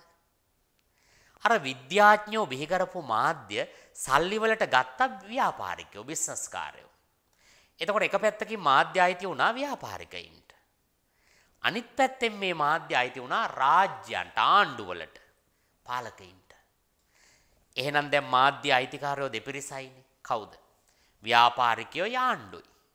ව්‍යාපාරිකයන්ගේ අරමුණ මොකක්ද? වාණිජ පරමාර්ථයක් නේද ඔය පුතේ? මාධ්‍ය භාවිතයෙන් සල්ලි හම්බ කිරීම. එතකොට මාධ්‍ය භාවිතයෙන් සල්ලි හම්බ කරන්න නම් මොනවද මාධ්‍ය තියෙන්න ඕනේ? මිනිස්සු කැමති ඒවා. මිනිස්සු ගොඩ දෙනෙක් අතර ජනප්‍රිය වෙන්න පුළුවන් දේවල්. ඒවා සමාජයට හිතකර වුණත් එකයි අහිතකර වුණත් එකයි. ගොඩක් වෙලාවට සමහර ව්‍යාපාරිකයෝ මිනිස්සුන්ට වෙන දේ ගැන හිතන්නේ නේ. දැන් අපේ වෙළඳපොලේ තියෙන්නේ කහ කුඩු වලටත් කෙමිකල් දානවා වර්ණ දානවා කහ පාට හදනවා පාම් පිටි වලට ඩයි කලවම් කරලා. එතකොට ඒගොල්ලන්ගේ වාණිජ පරමාර්ථයක් විතරයිනේ දරුවනේ තියෙන්නේ. ඉතින් ඔය වගේ වැඩ මාධ්‍යෙත් වෙන්න පටන් ගත්තා. ඔය කියන ව්‍යාපාරිකයෝ මාධ්‍ය අයිති කරගෙන සල්ලි හම්බ කරන්න තමන්ගේ channel එක ජනප්‍රියම එක කරලා ඒක ඇතුලේ වෙළඳ දැන්වීම් වගේව දාලා සල්ලි හම්බ කරන්න පටන් ගත්තා. තනි කරම වාණිජ පරමාර්ථ වලින් සිදුවුනේ මේ සමාජයට අහිතකර ප්‍රතිඵල. ඒගොල්ලෝ සමාජ යුතුයකම් සමාජ වගකීම් කිසිවක් ගැන හිතන්නේ නැතුව සල්ලි ගැන විතරක් හිතුවා. ඔන්න වැඩේ අවුල් වුණා මාධ්‍ය භාවිතය. ඊළඟට ඔබ දන්නවනේ දේශපාලඥයෝනේ හරි හොඳ කණ්ඩායමක්නේ. ගොඩක් වෙලාවට දේශපාලඥයෝ. ඒගොල්ලන්ගේ එකම අපේක්ෂාව බලයනේ. බලය ලබා ගැනීම, ලබාගත් බලය තහවුරු කර ගැනීම, රැක ගැනීම. ඔන්න ඔය කියන අරමුණු වෙනුවෙන් ආණ්ඩුව ආණ්ඩුවේ මාධ්‍ය යොදාගත්තා. දැන් බලන්නකෝ අර ව්‍යාපාරිකයෝ මිනිස්සු ගැන රට ගැන හිතුවෙත් නැහැ. දේශපාලඥයෝ රට ගැන මිනිස්සු ගැන හිතුවෙත් නැහැ. මෙහි ප්‍රතිඵලය මොකක්ද?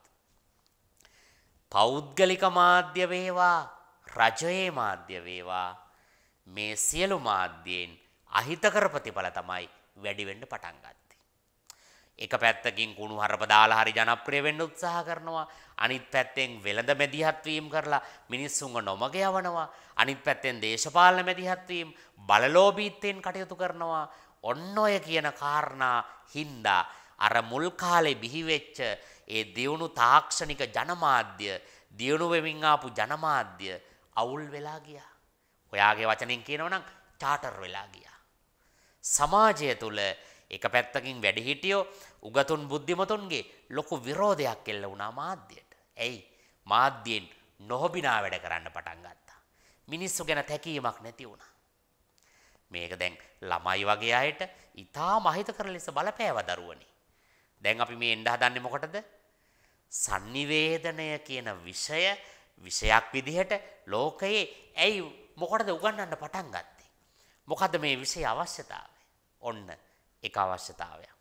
මොකද්ද? මාධ්‍යයේ අහිතකර බලපෑම් වර්ධනය වීම.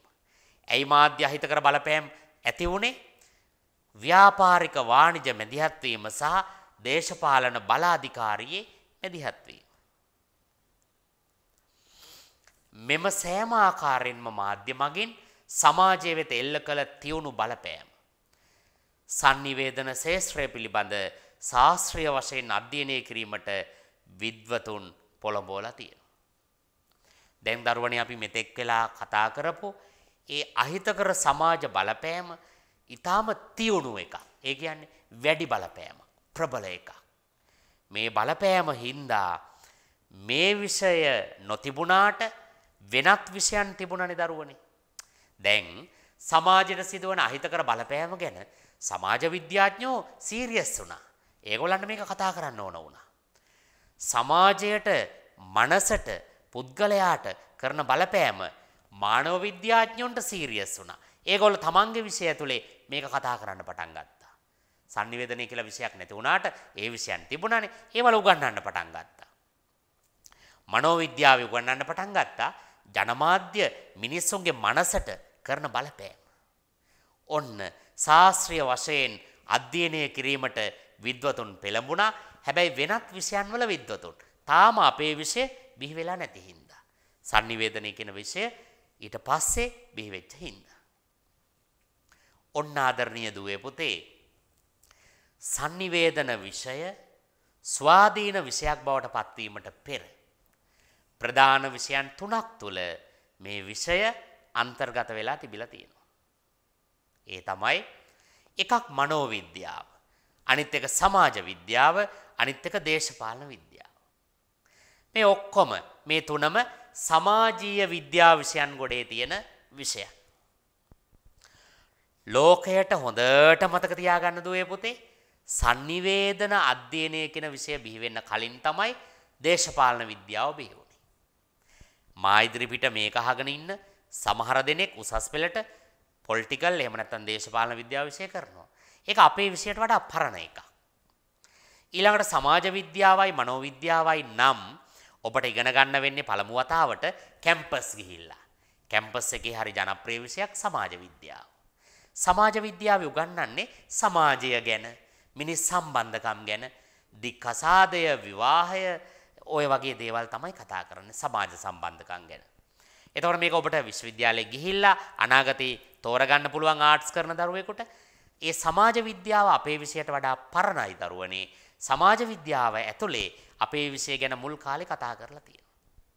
සමාජයට කරපු බලපෑමනේ සමාජ විද්‍යාවට ඍජු අයිති වෙන්නේ කතා කරලා තියෙනවා. අපි ඉදිරියේදී බලමු. ඊළඟට මනෝවිද්‍යාව. මම ඔබට මුලින් යම් ඉඟියක් දුන්නා දුවේ පුතේ. මේ ජනමාධ්‍ය වැඩිපුරම බලපෑම් එල්ල කළේ ළමයින්ගේ මනසට. තරුණ තරුණියන්ගේ කාන්තාවන්ගේ මනසට. එහෙනම් මනෝවිද්‍යාව නිකන් හිටියේ නෑ. මනෝවිද්‍යාඥයෝ මාධ්‍යයෙන් මනසට කරන බලපෑම ගැන කතා කරන්න පටන් ගත්තා. අදහස් පළ කරා ලියන්න පටන් ගත්තා උගන්වන්න පටන් ගත්තා. එහෙමනම් දුවේ පුතේ බලන්න sannivedana විෂය වෙනම විෂයක් බවට පත් වෙන්න ඉස්සර වෙලා මනෝවිද්‍යාව ඇතුලේ කතා කරලා උගන්වලා ඉගෙනගෙන තියෙනවා. සමාජ විද්‍යාව, දේශපාලන විද්‍යාව කියන විෂයන් තුනේ කතා වෙලා ඉගෙනගෙන තියෙනවා. පැහැදිලිනේ? ශාස්ත්‍රීය විෂයක් බවට පත්කිරීමට පදනම සකස් කළ පුරෝගාමී විශේෂඥයෝ තුන් දෙනෙක් ඔබට හඳුන්ලා දෙනවා. අපේ විෂය නිර්දේශය විසින් ඔබට නිර්දේශ කරලා තියෙනවා මේ තුන් දෙනා ගැන කෙටියෙන් ඉගෙන ගන්න. එක්කෙනෙක් චාල්ස් කූලි අනිත් එක්කෙනා වෝල්ටර් ලිප්මාන් අනිත් එක්කෙනා ජෝන් ඩුවි. එතකොට දරුවනේ ඔබට මේ නම් අලුත් නම් ඒ අලුත් වෙන්නේ කවද්ද? අදනේ. ඔබ මේවා දැකලා ඊට පස්සේ ටියුට් එකත් බලලා ඊට පස්සේ නෝට් එකත් ලියලා ඊට පස්සේ පාඩනුත් කරාම මේවා ඔයාට තව අවුරුදු දෙකක් යනකොට ඒ ලෙවල් එනකොට අලුත් නම් නෙවෙයි. ඔයාට හුරු පුරුදු බවට පත් වෙනවා. ශාස්ත්‍රීය විෂයක් බවට පත් කිරීමට විෂය බිහි වෙන්න පෙර පදනම සකස් කළ පුරෝගාමීන් තුන්දෙනා තමයි චාල්ස් කූලේ වෝල්ටර් ලිප්මාන් සහ ජෝන් ඩොවි කියලා කියන්නේ. අපි බලමු ඒ අය පිළිබඳව. පළවෙනි එක්කෙනා චාල්ස් කූලි.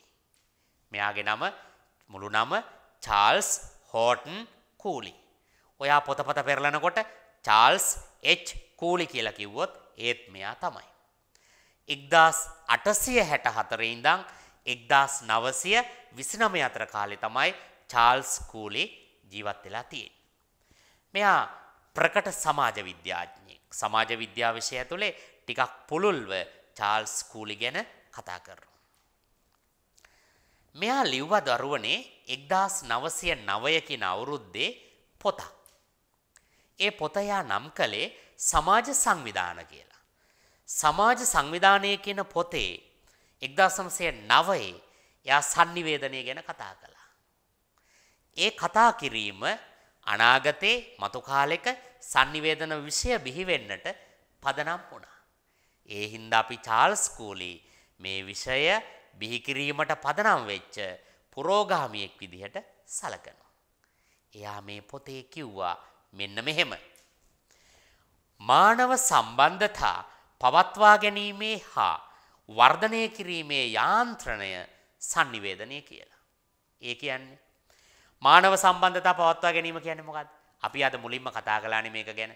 අපි එකිනෙකා සමග අන්තර් සම්බන්ධකම් ඇති කර ගැනීම. හරිනේ. ඊට පස්සේ සම්බන්ධකම් වර්ධනය කර ගැනීම.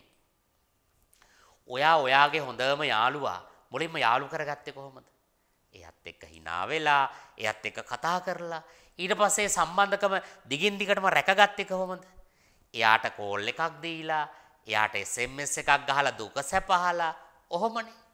ඔන්න ඉතින්. මානව සම්බන්ධකම් ඇති කරගන්න, පවත්වගෙන යන්න, ඒවා තව තව වැඩි දියුණු කරගන්න sannivedana ඕනේ කියලා 1909 චාල්ස් කූලි එයාගේ විෂයේ සමාජ විද්‍යාව ඉඳන් කිව්වා. දැන් සමාජ විද්‍යාවට ඕනෙන් දරුවනේ සමාජ විද්‍යාවනේ සමාජ සම්බන්ධකම් ගැන කතා කරන්නේ.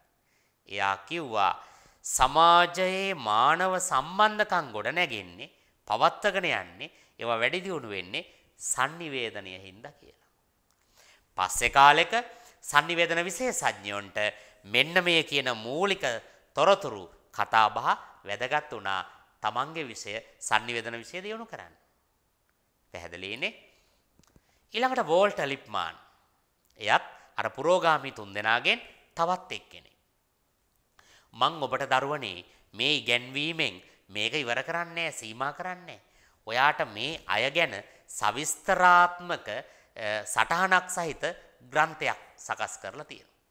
ඒත් එක්කම ඔයාට මේවා විභාගෙට පාඩම් කරගන්න ලේසි වෙන විදිහට මේ හැම මාතෘකාවකටම කෙටි සටහන් පොතක් හදලා තියෙනවා. එතකොට ඒවත් ඔබේ ඉගෙනුම් ආධාරක. ඔබ මේ දකින්නේ වෝල්ට ලිප්මාන්. එයත් ලෝකයේ පිළිගත්ත ශ්‍රේෂ්ඨ විශේෂඥයෙක්. මම ඔබට මේවල ඉංග්‍රීසි නම් අකුරු වචන ටිකක් දෙන්නේ දරුවනේ. ඔයාට පුළුවන් අන්තර්ජාලයට ගිහිල්ලා වෝල්ට ලිප්මාන් කියලා සර්ච් කරලා මේ පුද්ගලයා ගැන මං කියන තොරතුරු වලට වඩා ගොඩාක් තොරතුරු දැනගන්න. මං කියන්නේ ඔබ කරන්නේ මීඩියා ඔබ 2022 අලුත් නිව් ජෙනරේෂන් එකේ අලුත් පරම්පරාවේ දරුවෝ ඒ අය මේවා කියනකොට සර්ච් කරලා බලන්න ඕන. ඔයා චාල්ස් කූලි කියලා Google ගිහිල්ලා සර්ච් කරලා බලන්න. අද ඉගෙන ගන්න එහෙමයි. අපේ විෂය ඉගෙන ගන්න එහෙමයි. වෝල්ට ලිප්මාන් ගැන මං කියන්න ඕනේ. ඔයාට මේ වෝල්ට ලිප්මාන් හොයාගන්න පුළුවන්. එතකොට අපිට ඕන වෙනවා ඉංග්‍රීසි නම හරියට. දැන් වෝල්ට කියලා ටයිප් කරනකොට V අකුර ටයිප් කරන්නත් පුළුවන් කෙනෙක් නේ. එහෙම නැත්නම් W O ටයිප් කරන්නත් පුළුවන්. එතකොට මේ මේ අකුරු ඔබේ ටියුට් එකෙත් මුද්‍රණය කරලා තියෙනවා මං ඒවට හුරු වෙන්න. එතකොට ඔබට මේ කරුණු සොයාගෙන යන්න ගවේෂණය කරන්න ලේසි දරුවනි. ඔයා මේ විෂය අනිත් ඔය සාම්ප්‍රදායික විෂයන් වගේ නෙවෙයි. ටිකක් වෙනස් විදිහට ඉගෙන ගන්න පටන් ගන්න. අන්තර්ජාලය පරිහරණය කරන්න, තොරතුරු හොයන්න, ගවේෂණය කරන්න. එතකොට ඔයාට මේ විෂයේ ඉතා පුළුල් අධ්‍යයනයක් සොයන් විදිහට ඔයාටම කරගන්න පුළුවන් වෙනවා. ඒක හරි වටිනවා. ඒක විභාගේ ලං වෙලා කරන්න වෙලාව නැහෙනි දරුවනේ. මේ වෙලාව හොඳ වෙලාවයකට පටන් ගන්න දැම්ම. මේ වෝල්ට ලිප්මාන් ලියනවා ජනමතය කියලා පොතක්. 1922. දේශපාලන විද්‍යාව කියන විෂය ඇතුලේ මේක හරි ජනප්‍රිය කෘතියක්. වෝල්ට ලිප්මන්ගේ ජනමතය කියන කෘතිය. එයා පබ්ලික් ඔපීනියන් කියලා මේ පොතට ඉංග්‍රීසියෙන් කියන්නේ පබ්ලික් ඔපීනියන් ජනමතය. එක්දා සමසය විසි දෙකේ. වෝල්ට ලිප්මාන් පබ්ලික් ඔපීනියන් කියන පොත ලියලා සන්නිවේදනය ගැන කතා කරනවා. එයා කියනවා මිනිස්සුන්ගේ මත ජන මත වෙනස් කරන්න සන්නිවේදනය මැදිහත් වෙන ආකාරය. ජනමාධ්‍යයට පුළුවන් කියන ආකාරය. දැන් ඡන්දෙ ළඟයි නේද? හෝගාලා දැන් ඇඩ් දානව නේද? එයි වෝල්ට ලිප්මාන් කිව්ව කතාව. මිනිස්සුන්ගේ අදහස් මතවාද වෙනස් කරන්න පුළුවන් ජනමාධ්‍යයට. ජනමත හදන්න පුළුවන්. තියෙන ජනමත නැති කරන්න පුළුවන්. sannivedanayට. අපි බලමු. ඊළඟ විශේෂඥා ජෝන් ඩොවි පුරෝගාමී තුන්වෙනියා. එයා ලිව්වා 1927 ජනතාව හා ඔවුන්ගේ ගැටලු කියලා පොතක්. ජෝන් ඩුවි 1859 1952 අතර කාලේ තමයි ජීවත් වෙලා තියෙන්නේ. එයා 1927 ලිව්වා ජනතාව හා ඔවුන්ගේ ගැටලු කියලා පොතක්. ඒක එයා දිගින් දිගටම කතා කළා මිනිස්සුන්ගේ ප්‍රශ්න ගැන. එයා ඒ පොතේ කියනවා මිනිස්සුන්ගේ ගොඩාක් ප්‍රශ්නවලට හේතුව sannivedana දුර්වලතා කියලා. ඇත්ත. Tamanට හරියට යම් අදහසක් කියාගන්න බැරි නම් ඒකම ප්‍රශ්නයක් නේ දරුවනේ. Tamanට අවශ්‍යතාවයක් ඉටු කරගන්න තව කෙනෙකුට යමක් කියනකොට ඒ මනුස්සයාට ඒ Taman කියන දේ තේරෙන්නේ නැත්තම් ප්‍රශ්න ඇති වෙනවා. පැහැදිලිනේ? Tamanට කියාගන්න බැයි නම් කෙනෙක් කියන දේ Tamanට තේරුම් ගන්න බැයි නම් ඒක sannivedana ප්‍රශ්නයක්නේ. ඒක ජනතා ගැටලුවක්. ඔන්න ජෝන් ඩුවි 1927 ජනතාව හා උන්ගේ ගැටලු පොතේ එහෙම කියනවා. ඔයා ජෝන් ඩුවිවත් සර්ච් කරලා වැඩිදුර ටච් කරගන්න. පැහැදිලිනේ? හරි. ඊළඟට දරුවනේ මේ අපි කතා කරපු ඒ පුරෝගාමී විශේෂඥයන්ගේ කරුණුවල නිගමනයන් සහ අනිකුත් පොදු කරුණුවල නිගමනයන් තුනක් අපි ඔබට ගොනු කරලා දක්වනවා. පළවෙනි නිගමනයේ විදිහට මම ඔබට ඉදිරිපත් කරන්නේ පුද්ගලයාගේ සමාජ ජීවිතයේ වැදගත්ම හා කේන්ද්‍රීය සාධකයේ sannivedanaya. කේන්ද්‍රීය සාධකයක් ඉගෙන ගන්න නැතුව ඉන්න පුළුවන්. බෑ. වැදගත්ම සාධකය ඉගෙන ගන්න නැතුවත් හරින්න පුළුවන්. බෑ. ඔන්න එහෙනම් පුද්ගලයාගේ සමාජ ජීවිතේ වැදගත්ම කේන්ද්‍රීය සාධකයේ sannivedanaya නම් sannivedana ඉගෙන ගන්න ඕනේ. sannivedana උගන්වන්න ඕනේ. දෙවෙනි නිගමනය අපි බලමු. මාධ්‍ය තාක්ෂණය සංස්කෘතිය කෙරෙහි ඇති කරන බලපෑම ප්‍රබලයි. මාධ්‍ය තාක්ෂණය මේ මිනිස්සුන්ගේ මේ ලෝකයේ රටවල් වල සංස්කෘතිය වේගයෙන් වෙනස් කරනවා. අපේ පස්වෙනි පාඩම තනිකරම සංස්කෘතිය ගැන කතා කරන්න. ඒකෙදි අපි කතා කරනවා අනාගතේ ජනප්‍රිය සංස්කෘතිය ඊට පස්සේ මාධ්‍ය සංස්කෘතිය ගෝලීය සංස්කෘතිය. ඒ අලුත් සංස්කෘතික ප්‍රවණතා තනිකරම හදන්නේ මාධ්‍ය විසින් ජනමාධ්‍ය නවමාධ්‍ය විසින්. එහෙනම් සංස්කෘතිය කෙරෙහි මෙතරම් බලපෑම් කරන sannivedanaya ගැන මාධ්‍ය ගැන හදාරන්න නැතුව අත්හරින්න පුළුවන් බෑ අන්න විෂයක් විදිහට බිහි වෙන්න පදනම් වෙන කාරණා ඊළඟට තුන්වෙනි නිගමනයේ විදිහට මම ඔබට පෙළගස්වන්න. sannivedanaya ප්‍රජාතන්ත්‍රවාදය හා ප්‍රජාව යන කරුණු අතර ඇති සම්බන්ධතාවයෙන් මතුවන සමාජ ගැටලු රාශියක් පවතින බව. sannivedanaya හින්දා ගැටලු රැසක් ඇති වෙනවා. ප්‍රජාතන්ත්‍රවාදය සහ ප්‍රජාව කියන කරුණු අතර සම්බන්ධය තුලින් ගැටලු මතුවෙනවා. එක පැත්තකින් මිනිස්සු කියන්නේ පාලකයෝ විසින් පාලනය වෙන පාලනය කරන જાතියක්නේ. ඔන්න ප්‍රශ්න ඇති වෙනවා. එතකොට මෙහිදී sannivedanaya මැදිහත් වෙනවා. එතකොට මේ මේ කියන ප්‍රජා ගැටලු සමාජ ගැටලු වලට විසඳුම් ලබා ගන්න එපේ. මැදිහත් වෙන්න එපේ. සරලව කියනවා නම් මේ ප්‍රශ්න විසඳන්න එපේ දරුවනේ. ඒ ප්‍රශ්න විසඳනකොට ඔන්න sannivedanaya මැදිහත් වෙනවා. කතා බහ කරලානේ ප්‍රශ්නයක් විසඳන්නේ අපිනේ. එතකොට මෙන්න මේ කියන නිගමන තුනෙන් එළඹෙන්න පුළුවන් කාරණේ තමයි sannivedanaya ඕනේ. sannivedanaya ඉගෙන ගන්න ඕනේ. sannivedanaya සමාජයට විශේෂයෙන්ම ඔබ වගේ ඉගෙන ගන්න ළමයින්ට විෂයක් විදිහට උගන්වන්න ඕනේ කියන කාරණේ. මතුවෙන්නේ මෙන්න මේ කියන නිගමනත් එක්ක. ඊළඟට දුවේ පුතේ sannivedanaya කියන විෂය ශාස්ත්‍රීය විෂයක් ලෙස ස්වාධීනව ස්ථාපනය වීම සිදුවෙන රට කෙරෙහි අපි අවධානය යොමු කරන්න ඕන. මං කැමති ඔබෙන් අහන්න ශාස්ත්‍රීය කියලා කියන්නේ මොකක්ද?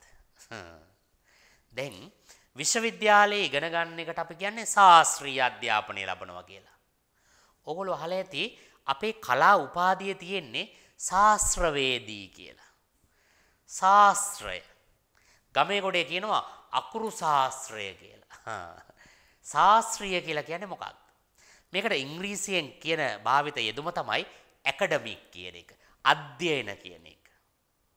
එතකොට sannivedanaya ශාස්ත්‍රීය විෂයක් ලෙස කියලා කියන්නේ දැන් sannivedanaya නිකන් ප්‍රායෝගිකවත් කෙනෙකුට ඉගෙන ගන්න පුළුවන්.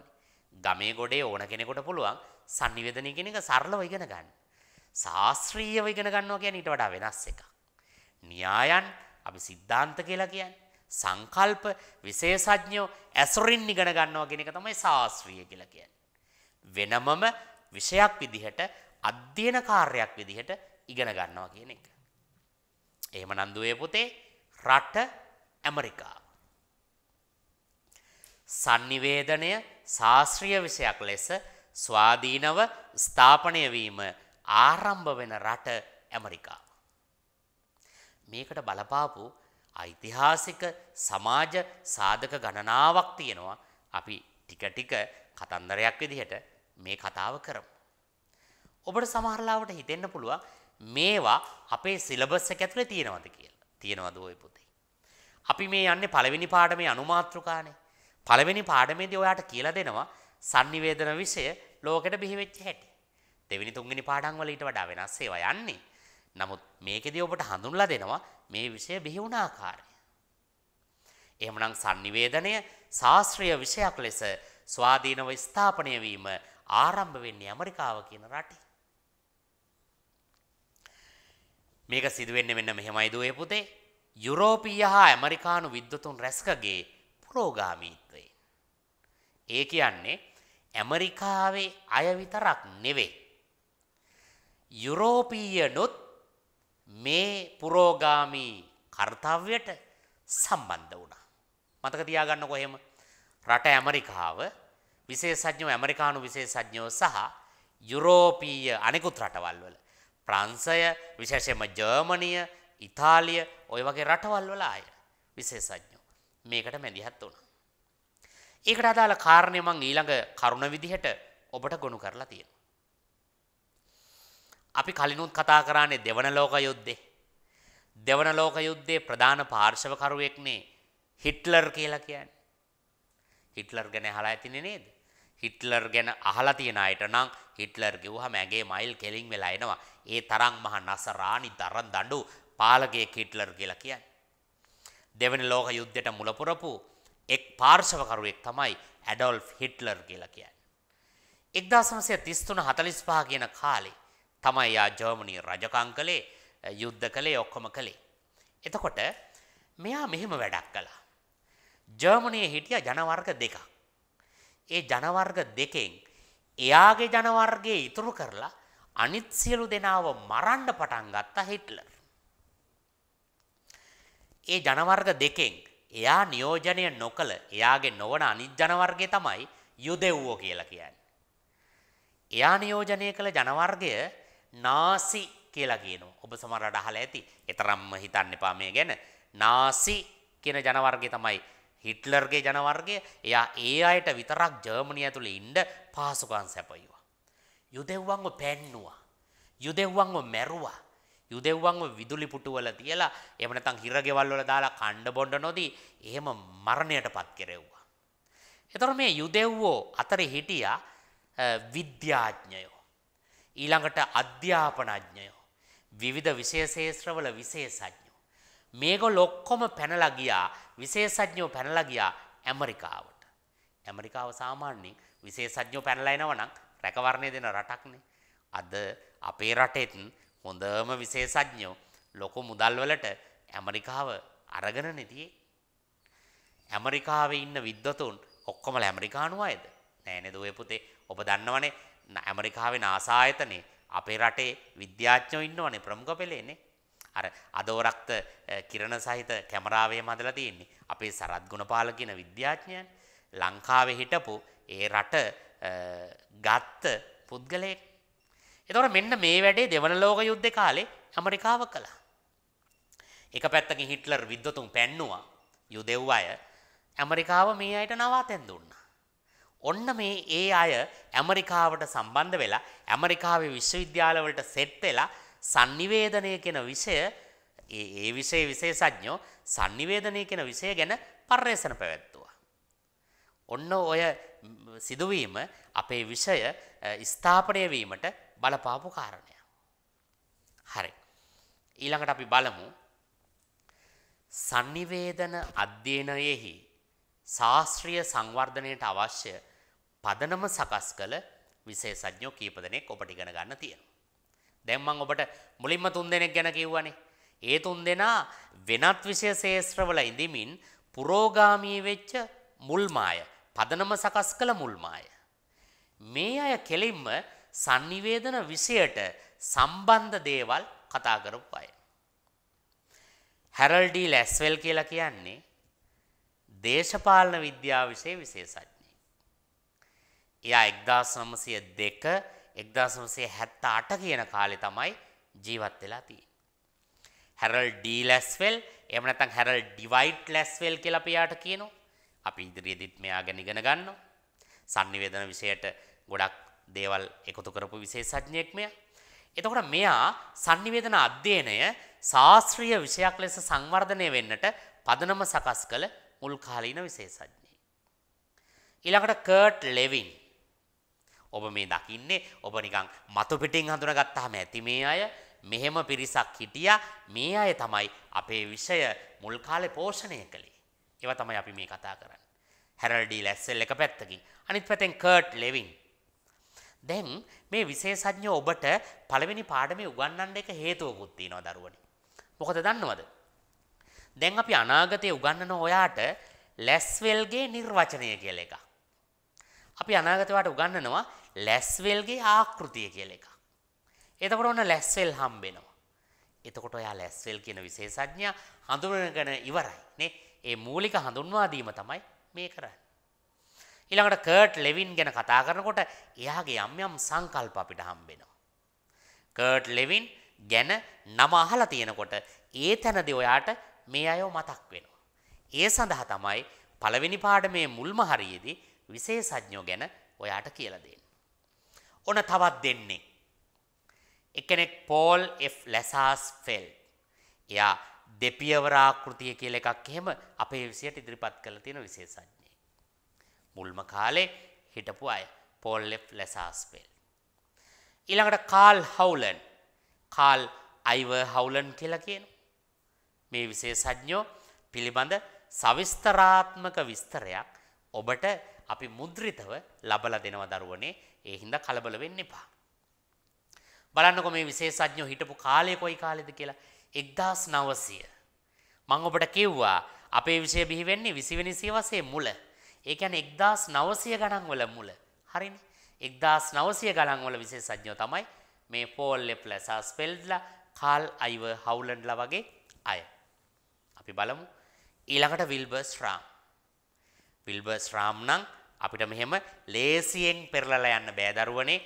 මෙයා තමයි නූතන sannivedana අධ්‍යයනයේ පියා. අපේ විෂයේ පියා මේ ඉන්නේ. මහාචාර්ය විල්බර්ස් රාම් 1907 ඉපදිලා 1987 වෙනකන් ජීවත් වෙලා අපේ විෂය විෂයක් විදිහට පෝෂණය කරන්නට අර අනිත් කියන විද්‍යාඥයොත් එක්ක විශේෂඥයොත් එක්ක එකතු වෙලා මුල්ම වෙච්ච පුද්ගලයා තමයි විල්බර්ස් රාම්. අපි ඔහුට ගෞරව කරන්න ඕනේ අපේ විෂය මේ ලෝකෙට මෙතරම් ඉක්මනින් බිහි කරපු විශේෂඥ හින්දා. ඊළඟට ජෝර්ජ් ගාබ්න ඔබට පේනවා ඔවුන්ගේ රූප මතක තියාගන්න අවශ්‍ය නෑ දුවේ පුතේ. අර ශිෂ්‍යත්ව විභාගයට අනගාരിക ධර්මපාලතුමාගේ රූපේ දීලා මේ කවුද කියලා අහනවා වගේ ජෝර්ජ් ගාබ්නගේ ඩයල් එක මූණ දාලා ඔබෙන් විභාගයට ප්‍රශ්න අහන්නේ ඒ හින්දා ඔබ මේවා එහෙම මතක තියාගන්න ඕනේ නැහැ. නම් මතක තියාගන්න අනාගතේ අපිට මේ නම් ඕන වෙනවා. අපි මේ අය ගැන විවිධ පාඩම් වල දිගන ගන්නවා. ඒ සඳහා අවශ්‍ය පෙර සිහිපත් කිරීමක් අවබෝධයක් අවධානයක් තමයි මේ අපි ඔබට ලබලා දෙන්නේ.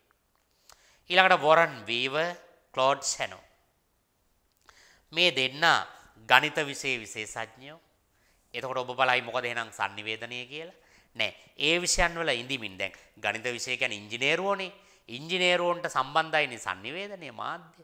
මාධ්‍ය තියෙනවනේ තාක්ෂණික පාර්ට් එකක්. ඒ තාක්ෂණය ගැන මාධ්‍ය සංදේශ හදන හැටි ගැන කතා කරපු විශේෂඥයෝ දෙන්නේ. අපි ඉදිරියට මේ දෙන්න ගැනත් ඉගෙන ගන්නවා.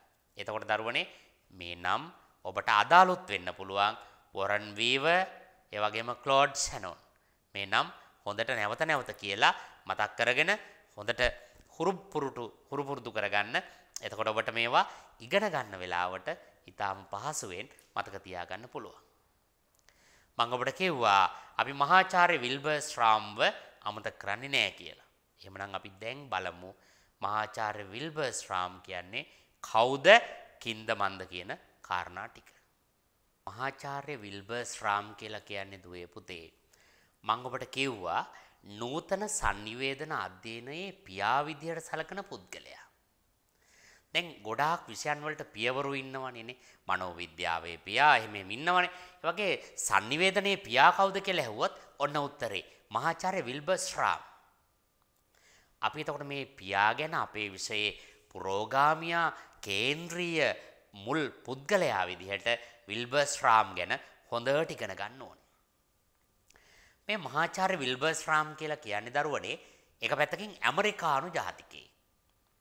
අර මං ඔබට මුලින් කිව්වනේ ජර්මනියෙන් පිටුවහල් කළ විශේෂඥයින්ව එකතු කරලා එකට එකතු කරලා සාමූහිකයක් හදලා ඒ අයව මෙහෙवला මේ විෂය පෝෂණය කරපු පුද්ගලයා තමයි විල්බර්ස් රාම් කියලා කියන්නේ. එතකොට අපි බලමු මහාචාර්ය විල්බර්ස් රාම් කරපු දේවල්. ඇයි මෙයාට sannivedana විෂයේ පියා කියලා කියන්නේ මොනවද මෙයා ඒ තරම් අපේ විෂයට කරලා තියෙන කියලා බලන්න. එතකොට ඊට කලින් මං කැමති ඔබට දරුවනේ අපි මේ වැඩපිළිවෙල ගැන යම් අදහසක් මේ වෙලාවේ මතක් කරන්න. ඔබ පන්තිකාමරයක් ඇතුලේ ගුරුවරයා අභිමුඛව ඉඳගෙන sannivedana හා මාධ්‍ය අධ්‍යයනයේ විෂය හදාරනව නෙවෙයි නෙමෙයි. වර්චුවල් එහෙම නැත්නම් අතත්්‍ය විදිහට අපි දෙපාර්ශවය අන්‍යෝන්‍ය වශයෙන් සජීවීව මුණ නොගැසී තාක්ෂණිකව සජීවීව මුණ ගැසීමක් තමයි මේ සිදුවෙන්නේ. එතකොට ඔබ ඔබේ ගෙදර පරිසරයේ හිඳමින් තමයි ඔන්ලයින් ලයිව් පන්ති කාමරය සමග සම්බන්ධ වෙන්නේ. එතකොට රටේ පවතින වාතාවරණය ටික ටික දැන් වෙනස් වෙමින් සුබවාදී ආරක්ෂිත පරිසරයක් ගොඩනැගෙමින් පවතිනවා. එතකොට අපිට ඊළඟ මාසෙදි පුළුවන් වෙනවා ඔබ සමග පන්ති කාමරයේදීත් මුණ ගැහෙන්න. ඔබට පුළුවන් ඔබ ඉන්න ප්‍රදේශය අනුව ඔබට සමීප මම පන්ති කරන ස්ථානය ගම්පහ නවමොන්ටාන ආයතනය නම් ඔබට පුළුවන් එතෙන් ඇවිල්ලා අපේ ආරම්භක දේශනවලට සම්බන්ධ වෙලා මේ විෂය මින් එහාට ඔබට තත්ත්‍ය ක්‍රමයට එහෙම නැත්නම් සජීවීව අපි ළඟ ඉඳිමින් ඉගෙන ගන්න ඔබට පුළුවන්. එහෙම නැත්නම් ඔබ කිරිබත් ගොඩට සීමාවේ ඒ සමීපයේ ඉන්න කෙනෙක් නම් දූ දරුවෙක් නම් ඔබට පුළුවන් කිරිබත් ගොඩ යහන්සා කියන ආයතනයට ඇවිල්ලා මගේ 2022 ඊළඟ මාසේ පටන් ගන්න ඒ පන්ති කාමරවලට එකතු වෙන්න. ඒ වගේම ඔබ කොළඹ එහෙම නැත්නම් නුගේගොඩ ආසන්නයේ හෝ එයාවට ඉන්න කෙනෙක් නම් ඔබට පුළුවන් නුගේගොඩ රොටරි කියන ආයතනෙත් ඒ වගේම නුගේගොඩ සැසිප් කියන ආයතනයටත් ඇවිල්ලා ඒ ආයතන දෙකෙන් එකක් තෝරගෙන මගේ පන්ති කාමරයකට ඔබට ඇතුල් වෙන්න පුළුවන්. ඔබ එනතුරු අපි බලාගෙන ඉන්නවා අපේ පන්ති කාමරය ඇතුලේ ඔබ වෙනුවෙන් පුටුවක් වෙන් කරලා තියෙනවා. ඔබ දැන් මාව හඳුනගත්තා මගේ ඉගැන්වීම් ශෛලිය දැක්කා ඔබ මේකට අනුගතයි නම් එකඟයි නම් ඔබට මේ වැඩේ මගෙත් එක්ක අවුරුදු දෙකක් කරන්නට ආස හිතුණා නම් ඔබ එන්න. එක්ක ගම්පහනව මොන්ටානා නැත්නම් කිරිබත්ගොඩ යහන්සා එහෙම නැත්නම් නුගේගොඩ රොටරි හෝ සැසිප් කියන ආයතන හතරෙන් එකකට. ඒ වගේම එහෙම එන්න බැරි දුර ඈත පළාත්වල සමස්ත ලංකාවෙම අය මේ සමග සම්බන්ධ වෙලා ඉන්නවා. ඒ අයට මං ආරාධනා කරනවා අපි මේ ඔන්ලයින් ලයිව් ක්ලාස්රූම් එක මේ වර්චුවල් විදිහටත් දිගටම කරගෙන යනවා. එතකොට ටියවසන් පන්ති පටන් ගන්න එළඹෙන මාසෙත් ඔබට පුළුවන් මේ සමග සම්බන්ධ වෙන්න. එතකොට මගේ පන්තියට සහභාගී වෙන දරුවන්ටත් මේ පාඩම සමග සම්බන්ධ වෙන්න විශේෂ සහන ක්‍රමයකට මම අවස්ථාව සලසලා තියෙනවා. එතකොට පන්තියටත් සහභාගී වෙන ගමන් මේ ඔන්ලයින් දේශනයටත් ඔබට සතියකට පැය දෙකක් සම්බන්ධ වෙන්න පුළුවන්. ඊළඟට සමහර අයට ඔන්ලයින් ක්‍රමයටම දිගටම ඉගෙනගෙන යන්නත් පුළුවන්. එහෙමනම් ඒ මතක් කිරීම එළඹෙන මාසේ අපි කොහොමද ක්‍රියාත්මක වෙන්නේ ඔබ කොහොමද ඊට අනුගත විය යුත්තේ කියන කාරණය. අපි ඊළඟ සතියේ වැඩසටහනේදී ඒ පන්ති පටන් ගැනීම පිළිබඳ වැඩි විස්තර කියන්නම්. කෙසේ වෙතත් ඔබට දැන් හුරු පුරුදුයි මීඩියා මයුර.lk වෙබ් අඩවිය මම ඒ තුලින් සියලු පණිවිඩ ඔබට sannivedanaya කරනවා. හරි. එහෙමනම් අපි විල්බර්ස්ට්‍රාම් වෙත නැවත අවධානය යොමු කරමු. sannivedana අධ්‍යයනය ශාස්ත්‍රීය විශේෂේත්‍රයක් ලෙස ආයතනගත කිරීමට පියවර ගත්ත පුද්ගලයා තමයි විල්බර්ස්ට්‍රාම්. මොකද්ද දරුවනේ ආයතනගත කරනවා කියන්නේ? ඔය ගමේ ගොඩේ තැන් තැන්වල උගන්වනවා වෙනුවට කතා කරනවා වෙනුවට විශ්වවිද්‍යාල මට්ටමින් පාසල් මට්ටමෙන් පර්යේෂනායතන මට්ටමෙන් මේ විෂය බිහි කරපු ඒ ගැන මේ විෂය හදලා උගන්නන්න පටන් ගත්ත ඒ ක්‍රියාමාර්ගය අනුගමනය කළ පුරෝගාමියා තමයි විල්බර්ස් රාම්. ඒකනේ අපි යාට පියා කියලා කියන්නේ. ජනමාධ්‍ය පාසල් ඇති කරා ඇමරිකාව තුළ. ඒ කියන්නේ පාසල්වල ජනමාධ්‍ය උගන්නන්න පටන් ගත්තා. වෙනමම ජනමාධ්‍ය පාසල් කියලා ඇමරිකාව තුළ පටන් ගත්තා. මේවා තමයි පස්සේ කාලෙක අපේ රටවල් වලට ව්‍යාප්ත වෙලා ආවේ. ඊට පස්සේ sannivedana පර්යේෂණ ආයතන. ජනමාධ්‍යෙන් මම ඔබට කිව්වා සමාජයට අහිතකර බලපෑම් ගොඩාක් වෙන්න පටන් ගත්තා. මේවා හොයන්න විශේෂඥයෝන්ගේ මැදිහත් වීමෙන් පර්යේෂණ ආයතන බිහි කළා. ඇමරිකාව තුල මුල් කාලේ පස්සේ ලෝකේ පුරා මේවා ව්‍යාප්ත වුණා. රිසර්ච් කරන්න පටන් ගත්තා මීඩියා ෆීල්ඩ් එක ගැන. ඊළඟට විශ්වවිද්‍යාලවලට අපේ විෂය අදනේ විශ්වවිද්‍යාලවල තියෙන්නේ දරුවනේ. අපේ රටෙත් විශ්වවිද්‍යාලවලට මේ විෂය අලුතෙන් තමයි ආවේ. මුළු ලෝකෙම විශ්වවිද්‍යාලවලට මුලින්ම sannivedanaya උගන්වන්න අධ්‍යනාංශයක් ඇති කරලා දායක වෙච්ච පුරෝගාමියා තමයි විල්බර්ස් රා. දරුවනේ ඇමරිකාවේ ඉලිනොයිස් කියන විශ්වවිද්‍යාලය ඔබට තිරේ පේනවා ඇමරිකාවේ ඉලිනොයිස් කියන විශ්වවිද්‍යාලය තමයි ලෝකයේ පළමු sannivedana විෂය ඉගෙන ගන්නට අවස්ථාව හමු වෙච්ච විශ්වවිද්‍යාලය. ලොව පළමු විශ්වවිද්‍යාලය කියලා තිරේ තියෙන දරුවනේ ඒ කියන්නේ ලෝකයේ පළවෙනි කැම්පස් එක කියන අදහස නෙවෙයි. ලෝකයේ sannivedana විෂය උගන්නපු ඉගෙන ගන්න අවස්ථාව තිබිච්ච පළමු කැම්පස් එක යුනිවර්සිටි එක තමයි ඇමරිකාවේ ඉලිනොයිස් කියලා කියන්නේ. පුරෝගාමී පුද්ගලයා තමයි මහාචාර්ය විල්බර්ස් රාම්. එයා මේ වැඩ කළේ 1940 දශකයේ. එතකොට දැන් මම ඔබට මුලින් කිව්වනේ 20 වෙනි සියවසේ මුලනේ පටන් ගත්තේ. දැන් මේ අපි ඉන්නේ 20 වෙනි සියවසේ මැද. සියවසක මැද කියලා කියන්නේ 50නේ. 1950නේ මේ 1940. ඒ කියන්නේ මැදට ළඟයි. එතකොට දැන් පුරෝගාමී අය 20 වෙනි සියවසේ මුල මහාචාර්ය විල්බර්ස් රාම්ගේ දායකත්වය 20 වෙනි සියවසේ මැද. 1940 දශකේ. දශකය කියන්නේ අවුරුදු 10ක්. එතකොට 1940 41 42 ආදී විදිහට 1950 වෙනකන් වූ කාලය තුල තමයි මේ කියන පුරෝගාමී වැඩ ටික ඔහු කළේ. මොනවාද එහෙනම් විල්බර්ස් රාම් කළේ අපේ විෂයට? ජනමාධ්‍ය පාසල් ඇති කරා. sannivedana පර්යේෂණායතන ස්ථාපනය කළා. විශ්වවිද්‍යාලවල sannivedanayටම නව අධ්‍යයන අංශ ආරම්භ කළා. විශේෂයෙන්ම ඇමරිකාවේ ඉලිනොයිස් යුනිවර්සිටි එකේ sannivedanaya උගන්වන්නට සිලබස් හදලා ඒ ගැන්වීම් කටයුතු පටන් ගත්තා. එහෙමනම් ශාස්ත්‍රීය වශයෙන් ආයතනික මට්ටමින් sannivedanaya විෂය උගන්වන්නට පුරෝගාමී වෙච්ච පුද්ගලයා තමයි අපේ sannivedana විෂයේ පියා තමයි මහාචාර්ය විල්බර්ස් රාම් ඔහු ඇමරිකානු ජාතිකයෙක්. පැහැදිලිනේ? හරි. ඊළඟට දරුවනේ 1960 දශකයේ මුල් භාගයේ 60 මුල කියන්නේ 60 61 62 ඔය කියන කාලේ. මුල් භාගයේ වෙනත් විෂයන් තුල අන්තර්ගතව පැවති sannivedanය ස්වාධීන විශේෂේත්‍රයක් ලෙස වෙනමම අධ්‍යයනය කිරීම ආරම්භ වෙනවා. දැන් 1940 විල්බර්ස් රාම් මැදිහත් වෙලා පටන් ගන්නවනේ. ඔන්න 60 වෙනකොට වැඩේ හරියනවා. දේශපාලන විද්‍යාවේ උගන්නපු මීඩියා sannivedana කොටස් වෙනමම ගන්නවා මේ sannivedana විෂයට. මනෝවිද්‍යාවේ, මානව විද්‍යාවේ, ඊට පස්සේ තාක්ෂණයේ, ඉංජිනේරු විද්‍යාවේ තිබිච්ච sannivedana හා සම්බන්ධ කොටස් ගන්නවා අපේ විෂයට. ඇයි? දැන් මේක වෙනම විෂයක් විදිහට ස්ථාපනය වෙලා ඉවරයිනේ. එතකොට තවදුරටත් ඒ විෂයන් වල තිබිච්ච sannivedana කරුණු ඒ විෂයන් වල තිබී යුතු නැහෙනේ. ඒවා අපි ගන්නවා අපේ විෂය ඇතුළට. මං අර මුලින් කිව්ව දේශපාලන විද්‍යාව විෂය හිටපු ලැස්වෙල්ගේ ජනමතය හා සම්බන්ධ කරුණු ටික අපි ගන්නවා sannivedanයට. එයා උගන්නලා තියෙනවා මිනිස්සුන්ගේ මතවාද වෙනස් කරන හැටි sannivedaniන් මාධ්‍ය. ඔන්න ඒවා අපි ගන්නවා sannivedana විෂයට. අර විෂයන් වල කාලයක් හැදිච්ච වැඩිච්ච කරුණු ටික අපි හොරකං කරගන්න. අරගෙන අපේ විෂයට දාගෙන වෙනම විෂයක් අපි හදාගන්න. එක්දස්වසේ හැට දශකය මුල තමයි මේ කියන වැඩේ සිදුවෙන්. ආදරණය දුවේ පුතේ.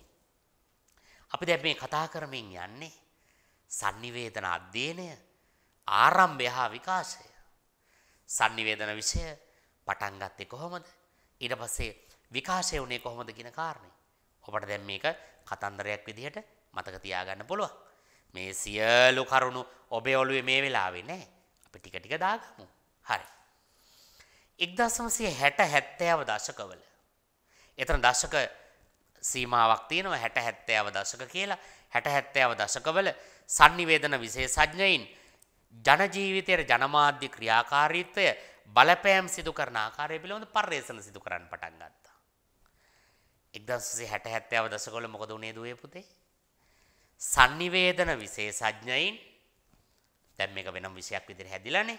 විශේෂඥයින් ජන ජීවිතවලට අපිට මිනිස්සුන්ට සමාජයට ජනමාධ්‍යයෙන් සිදු කරන බලපෑම පිළිබඳ පර්යේෂණ සිදු කරන්න පටන් ගත්තා. එතකොට ඒකත් මේ විෂයේ පෝෂණයට දායක වුණා.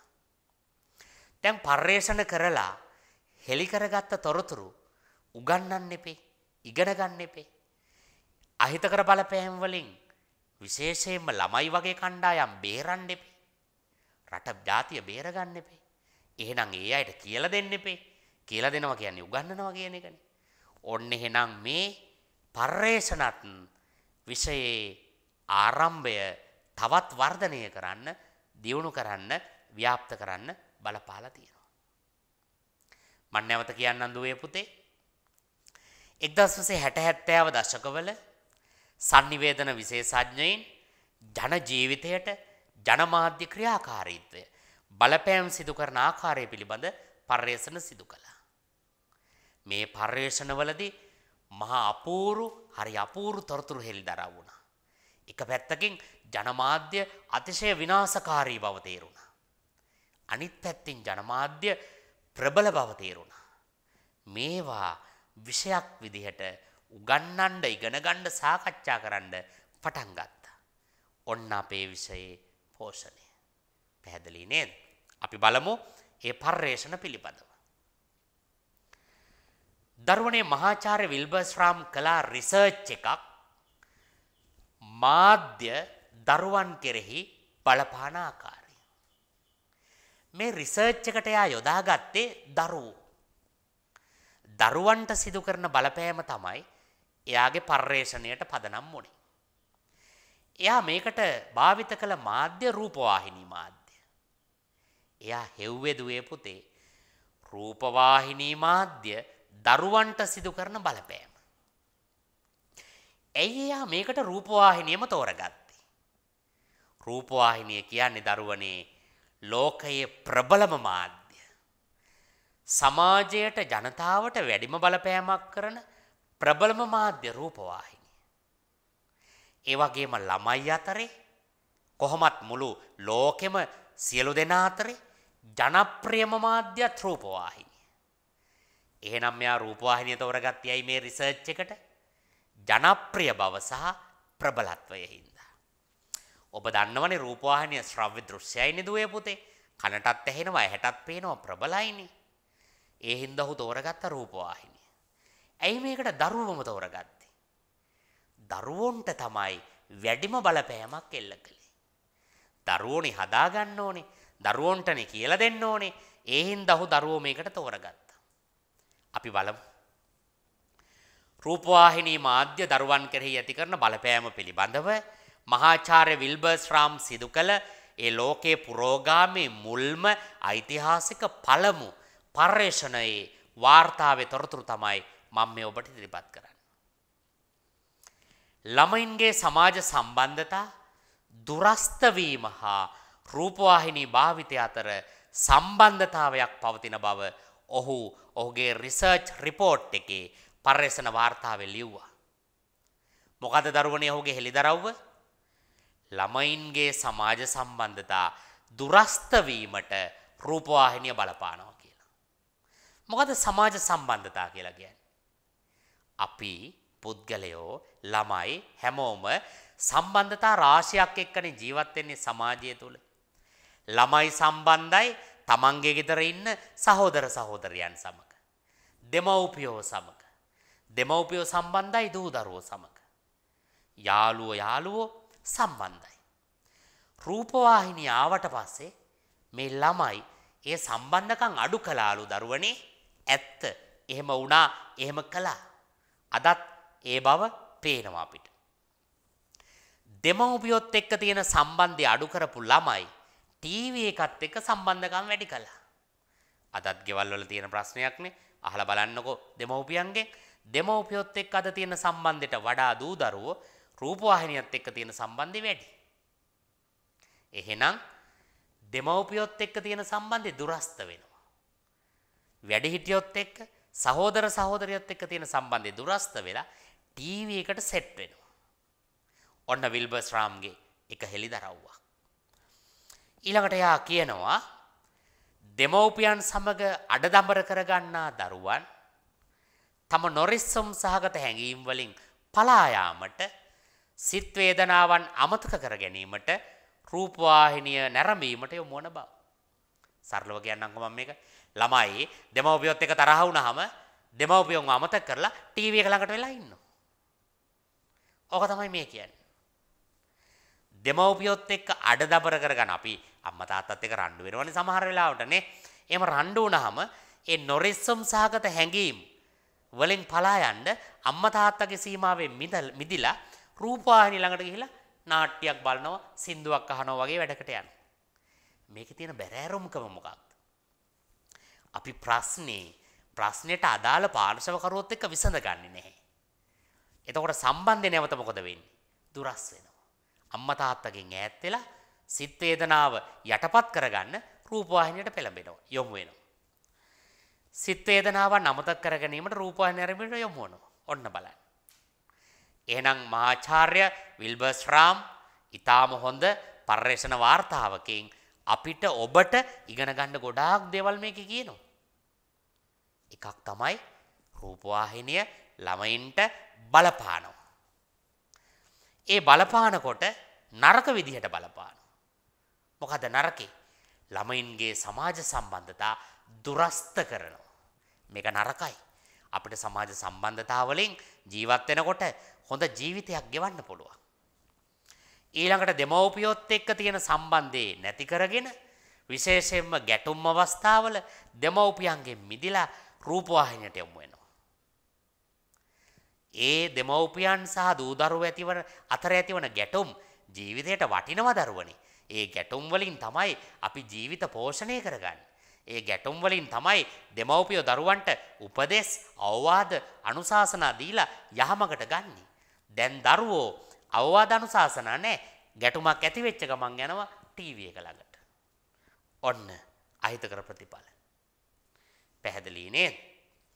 ඊළඟට ලෝකයේ දෙවෙනි ඓතිහාසික පර්යේෂණ විදිහට සලකනවා පෙන්සිල්වේනියානු විශ්වවිද්‍යාල පර්යේෂණ කණ්ඩායමක් විසින් එකතු වෙලා කාටුන් පිළිබඳව සිදු කළ පර්යේෂණය. ඕගොලු කාටුන් බලන්න හරි ආසයිනේ නේද. එතකොට ළමා කාටුන් පිළිබඳව ඒ කාලේ පර්යේෂණයක් සිදු කරලා තියෙනවා. ඒ කාලේ පර්යේෂණයට කලින් දරුවනේ අපි කතා කරමු මේ කාලේ කාටුන් ගැන ටිකක්. දැන් ඔය කාටුන් කියන වැඩසටහන් වර්ගයේ තියෙන්නේ කා වෙනුවෙන්ද? ළමයි වෙනුවෙන්. එතකොට දෙමව්පියෝ කාටුන් ළමින්ට බලන්න එපා කියනවද? නැහැ. ළමයින්ට බලන්නට ඉඩ දීලා තියෙන වැඩසටහන් වර්ගයක් තමයි කාටුන් කියලා කියන්නේ. හැබැයි ඔය කාටුන් එකක් දිහා හොඳට අවධානය යොමු කරලා බලන්න ළමයින්ව නොමග යවන දේවල් කොච්චරේ කාටුන් වල තියෙනවද කියලා. බලන්නකො ඒ කාටුන් වල තියෙන කාටුන් එකේ නමම බලන්නකො. නේ චණ්ඩී කියලා කාටුන් එකක් තියෙනවා. ඒ නමම ළමයින්ව ප්‍රචණ්ඩත්වයට යොමු කරනවා. ඊළඟට ඒ කාටුන් වල ඉන්න චරිත හඳුන්වන නම් බලන්නකො. තඩියා. මේවා සමාජයේ දරුවෝ නොමග යවන කාරණා. ඔවුන් මේ අහිතකර දේවල් හිතකර විදිහට දකිනවා මේ කාටුන් තුලින්. ළමයි හිතන්නේ නෑනේ දරුවනේ කාටුන් වලින් ඔවුන් නරක් වෙනවා කියලා. කාටුන් තියෙන්නේ ළමයින්ට කියලානේ ළමයි හිතන්නේ. ඉතින් මේ පෙන්සිල්වේනියානු විශ්වවිද්‍යාල පර්යේෂණ කණ්ඩායම ළමා කාටුන් පිළිබඳ සිදු කළ පර්යේෂණය දිහා අපි අවධානය යොමු කරලා බලමු. ඔවුන් මෙන්න මෙහෙම කියනවා. ඔවුන් කරලා තියෙන්නේ දරුවනේ ප්‍රචණ්ඩක්‍රියා සහිත සහ ප්‍රචණ්ඩක්‍රියා රහිත රූපවාහිනී කාටුන් වැඩසටහන් තෝරගෙන ළමයින් කණ්ඩායම් දෙකකට නැරඹීමට අවස්ථාව ලබා දීලා තමයි මේ පර්යේෂණය සිදු කරලා තියෙන්නේ. ඒ කියන්නේ ප්‍රචණ්ඩ ක්‍රියා කියන්නේ මොනවාද? ගහ ගන්න, මරා ගන්න, ඩිසුම් ඩිසුම් වෙඩි තියන ඒවා. ඒවා තියන කාටුන් සහ ඒවා නැති නිකන් හොඳ කාටුන් තියෙන අපි ගත්තොත් ඔය සින්ඩරෙල්ලා, තම්බලීනා වගේ පරිසරය ගැන කියලා දෙන සුරංගනා වගේ එහෙම ඒවා තියෙන. ඒ වගේ ඒවා පෙන්නනවා එක සෙට් එකකට. අනිත් සෙට් එකට පෙන්නනවා ගහ මරා ගන්න ඒවා. ඔන්න ඔය කියන ළමයි කණ්ඩායම් දෙකට දෙවර්ගයක කාටුන් පෙන්නලා ඊට පස්සේ ඒ ළමයින්ගේ වෙනස අධ්‍යයනය කරලා තමයි මේ පර්යේෂණය ලියලා තියෙන්නේ. කරලා තියෙන්නේ. ළමයින් තුල ප්‍රධාන වශයෙන් වෙනස්කම් තුනක් සිදුවන බව මේ රිසර්ච් එක ලෝකෙටම කියනවා. අපි බලමු 1. අර ප්‍රචන්න ක්‍රියා සහිත කාටූන් බලපු ළමයි තුල ඇතිවන වෙනස්කම්. 3. වේදනාත්මක දේ පිළිබඳ දරුවන්ගේ සංවේදීතාව අඩු වෙලා තියෙනවා. ඒ කියන්නේ අර සමාජයේ තියෙනවනේ සංවේදීකම කියලා එකක්. ඒක නැති වෙලා තියෙනවා. ළමයි සංවේදී නැහැ. මොනවටද? අපි හිතමු පාරේ මිනිහෙක් වාහනයක හැප්පුණාම ළමින්ට ඒක එච්චර ගාණක් නැහැ. ඒකට සමහර ළමයි hina වෙනවා. ඒකේ ළමයා රස කර කර බලන්න යනවා. එයි කාටුන් එක ඒ බඳු ප්‍රචණ්ඩ ඒවා පෙන්නලා ළමයා ඒවා රස කර කර කාටුන් එකේ බලලා සැබෑ ලෝකෙත් එයා ඒකෙන් රසයක් හොයනවා. එයාට ඒක සංවේදී නෑ. අපි તો මිනිස්සු කණ්ඩායමක් අපි તો ළමයි ටිකක් ගහ ගන්නවා කියලා. මේ අර ප්‍රචණ්ඩ කාටුන් එක බලපු ළමයාට ඒක මැජික් එකක් නෙවෙයි. ඇයි? එයා දැකලා තියෙනවා කාටුන් එකේ ඕන තරම් ගහ ගන්නවා. ඕන තරම් මැරෙනවා. ඕන තරම් වැටෙනවා. තුවාල වෙනවා. ඔන්න සැබෑ ලෝකයේ වේදනාත්මක දේ පිළිබඳ දරුවන්ගේ සංවේදීකම අඩු වෙනවා. එක පැත්තකින් දරුවෝ ඒවට ඒ ගැටුම් වලට ප්‍රචණ්ඩ දේවල් වලට යොමු වෙන්නත් පෙළඹෙනවා. සංවේදී නෑනේ උන්ට ඒක සාමාන්‍ය දෙයක්නේ. ඊළඟට ඔවුන් දන්නේ නැහැ මේකේ වේදනාව, මේකේ දුක, මේකේ අහිතකර తত্ত্বය. ඔන්න ප්‍රශ්න කාටුන් බැලුවා වගේ නෙවෙයි දරුවනේ. ඊළඟට දරුවන් ඔවුන් ජීවත් වන පරිසරය හා අවට ලෝකය පිළිබඳ බියක් ඇති කරගන්න. පොඩි එකා කාටුන් බලලා අල්ලපු කාම්රයට යන්න අම්මට කතා කරනවා. ටොයිලට් එකේ දොර ළඟ ඉන්න කියනවා දෙමව්පියන්ට. ඒ තරම් බය පොඩි එවුන් තමයි අද පොඩි එවුන් අතරේ ඉන්නේ. ඇයි මේ? දවස තිස්සේ අර කියන කාටුන් බලලා මේ පොඩි ළමයාට නිදා ගන්නකොට පේන්නේ අර කාටුන් එකේ ආපු ණයා තමන්ගේ ඇඳට එනවා කියලා. ඔන්න. දරුවන් ජීවත්වන පරිසරයත් එක්ක අවට ලෝකෙත් එක්ක හරිම බයයි. දවාල යන්නේ අල්ලපු කාමරයට. ඉතින් කොහොමද ගේට්ටුවෙන් එල්ලියට යවන්නේ මේ ළමයා? ඒ අද්භූත ලෝකයකට අහිතකර විදිහට බය වෙලා ඉන්නේ ළමයි. ඉස්සර කාලේ ළමයි එක්ක බලනකොට අද ළමයි හරි බයයි. ඒ බය අවට ලෝකය පිළිබඳ තිගැස්ම ඇති වෙලා තියෙන්නේ දරුවනේ මේවා මනෝවිද්‍යාත්මකයි අර කාටුන් බලලා. ඔබටත් ජීවිතේ එබඳු අධික බයක් දැනෙනවනම් තියෙනවනම් මේ මාධ්‍යයේ වැඩසටහන් ඔබේ ජීවිතයට එක්ක කුඩා කාලේ සිදු කරපු බලපෑම එහෙම නැත්තම් දැනුත් ඔබට නොදැනී සිදු කරන බලපෑම විය හැකි. ඔබ කල්පනා කරලා බලන්න ඔබ එහෙම බය පුද්ගලයෙක්ද කියලා එතකොට ඔබට මේක තේරුම් ගන්න පුළුවන්. එතකොට මේ පෙන්සිල් වේනියානු විශ්වවිද්‍යාල පර්යේෂණ කණ්ඩායම අර අහිතකර කාටුන් බලපු ළමයින්ට සිදු වෙලා තියෙන තුන්වෙනි ප්‍රතිඵලය මෙන්න මෙහෙම කියන. අන් අය සමග කටයුතු කිරීමේදී ආක්‍රමණශීලී වන්නටත් ඉක්මනින් ආරවුල් ඇති කරගන්නටත් දරුවන් තුළ නැඹුරුව වැඩිවීම. අද දරුවෝ ගහගන්නවනේ. එතකොට ඔයා හයි ඉස්සර කාලේ සර්ලගේ කාලේ ගහගත්තේ නැද්ද කියලා ගහගත්තා. හැබැයි අද දරුවෝ ඊට වඩා මරා ගන්නවනේ. බලන්නකො රටේ ඉඳලා හිටලා වාර්තා වෙනවා අද තරුණ ළමයි නොයෙක් ගැටුම් ඇති කරගෙන ජීවිත පවා විනාශ කරගන්නවා. තව කෙනෙක්ව මරනවා. තව කෙනෙක් මැරෙනවා. මේ වගේ ප්‍රචණ්ඩ ක්‍රියා ඉස්සර සමාජයේ තිබුණේ නෑ දරුවනේ. අර චූටි කාලේ ඉඳම් මේ ප්‍රචණ්ඩ කාටුන් බලලා බලලා බලලා මේ දරුවෝ ආක්‍රමණශීලී. පොඩ්ඩ මිස් වෙනකොට තමන්ගේ සහෝදරයා එහෙම නැත්නම් තමන්ගේ එකට හිටපු යාළුවා මරණ තැනටපත් වෙලා මේවා කියන්නත් හොඳ නැති කාරණා. ඒ තරම් අවුල් දේවල්. බලන්නකො පොඩ්ඩි දෙයකට ආරවුල් ඇති කරගන්නවා. සමහරලාවට ළමයි දෙන්නෙක් ගහගෙන තියෙන්නේ තමන්ගේ මකන කෑල්ලට වෙන්න පුළුවන්. එහෙම නැත්තම් ඇඟේ චුට්ටක් හැප්පුණා කියලා අවසාන ප්‍රතිඵලයේ ළමෙක් තව ළමෙක් මරලා වෙන්න පුළුවන්. මේ වගේ අවාසනාවන්ත අහිතකර බලපෑම් ඇති වෙනවා කියලා මේ ළමා කාටූන් දෙවර්ගය අතුරින් ප්‍රචණ්ඩ ක්‍රියා සහිත කාටූන් බලපු ළමයි තුල ඒ බඳු වෙනසක් නිරීක්ෂණය කරලා මේ විශ්වවිද්‍යාල පර්යේෂණ කණ්ඩායම මේ තොරතුරු හෙළිදරව් කරනවා. බලන්න අදට මේ පර්යේෂණ කොච්චර හොඳද කියලා. අපිට පුළුවන් අපේ සමාජයට අපේ ළමයින්ට ළමයිනි දරුවනේ වැඩිහිටිය වෙන්නේ අන්තිමට වැඩිහිටියවන මරාගන්නේ මේවට බලපාලා තියෙන්නේ මේ කුඩා කාලේ Taman ඇසුරු කරපු මාධ්‍ය වැඩසටහන්. කාටුන්? වගේවා. එහෙමනම් අපි මේ කාරණාවල අවසාන නිගමනයට දැන් එළඹෙමු.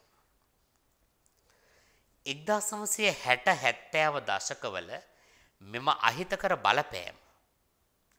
අසුව අනුව දශකවල තව තවත් වැඩිවීම හා වර්තමානයේ තවදුරටත් මාධ්‍ය තාක්ෂණය සංවර්ධනය වීම ජනමාධ්‍ය ව්‍යාප්තිය වැඩිවීම හේතුවෙන් sannivedana අධ්‍යයන ශේෂ්ත්‍රයේ විෂයපතය තවදුරටත් වර්ධනය වෙලා තියෙනවා.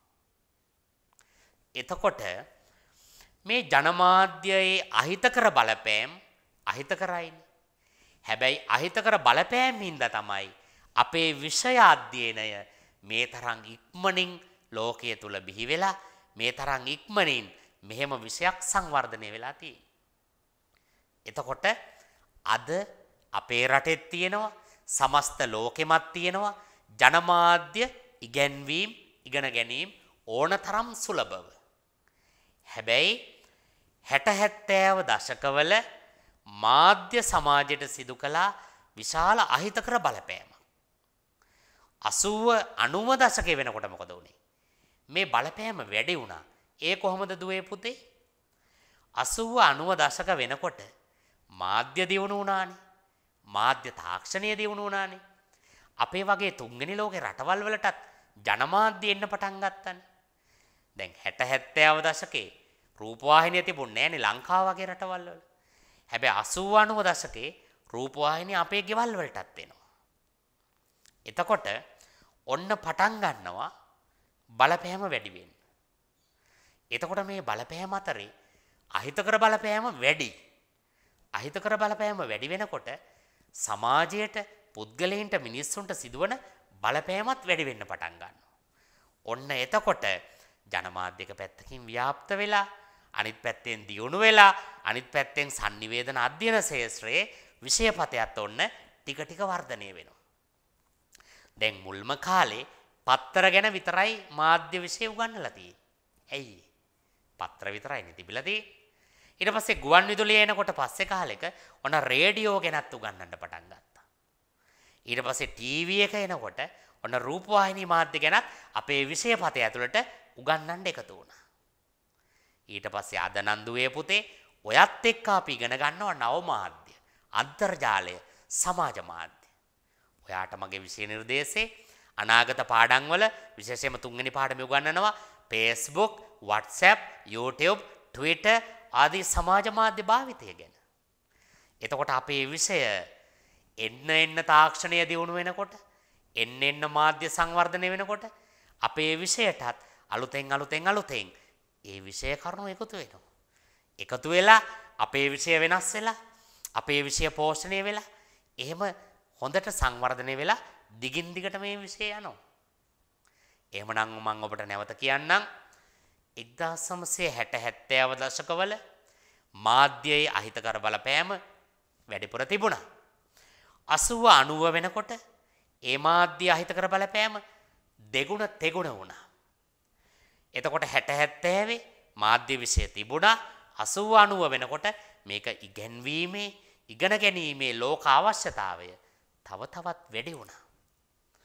ඊට පස්සේ අද මේ කතා කරන්නේ 80 90 නෙවෙයිනේ 2020 වෙනකොට 21 22 වෙන්න වෙනකොට මේ අවශ්‍යතාවය තව තවත් වැඩි වෙලා sannivedanaya තව තවත් දියුණු වෙලා එහෙම තියෙනවා.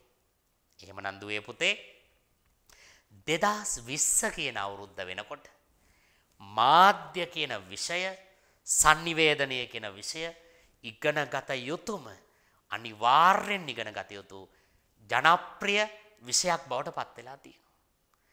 මේ විෂය එක අතකින් ඔබ තෝරගත්ත ඉගෙන ගන්න ඒ ඉගෙන ගැනීමට තෝරා ගැනීමම ඔබ කරපු හොඳ ජීවිතයේ තීරණයක් විදිහට මම මේ අවස්ථාවේ දකිනවා.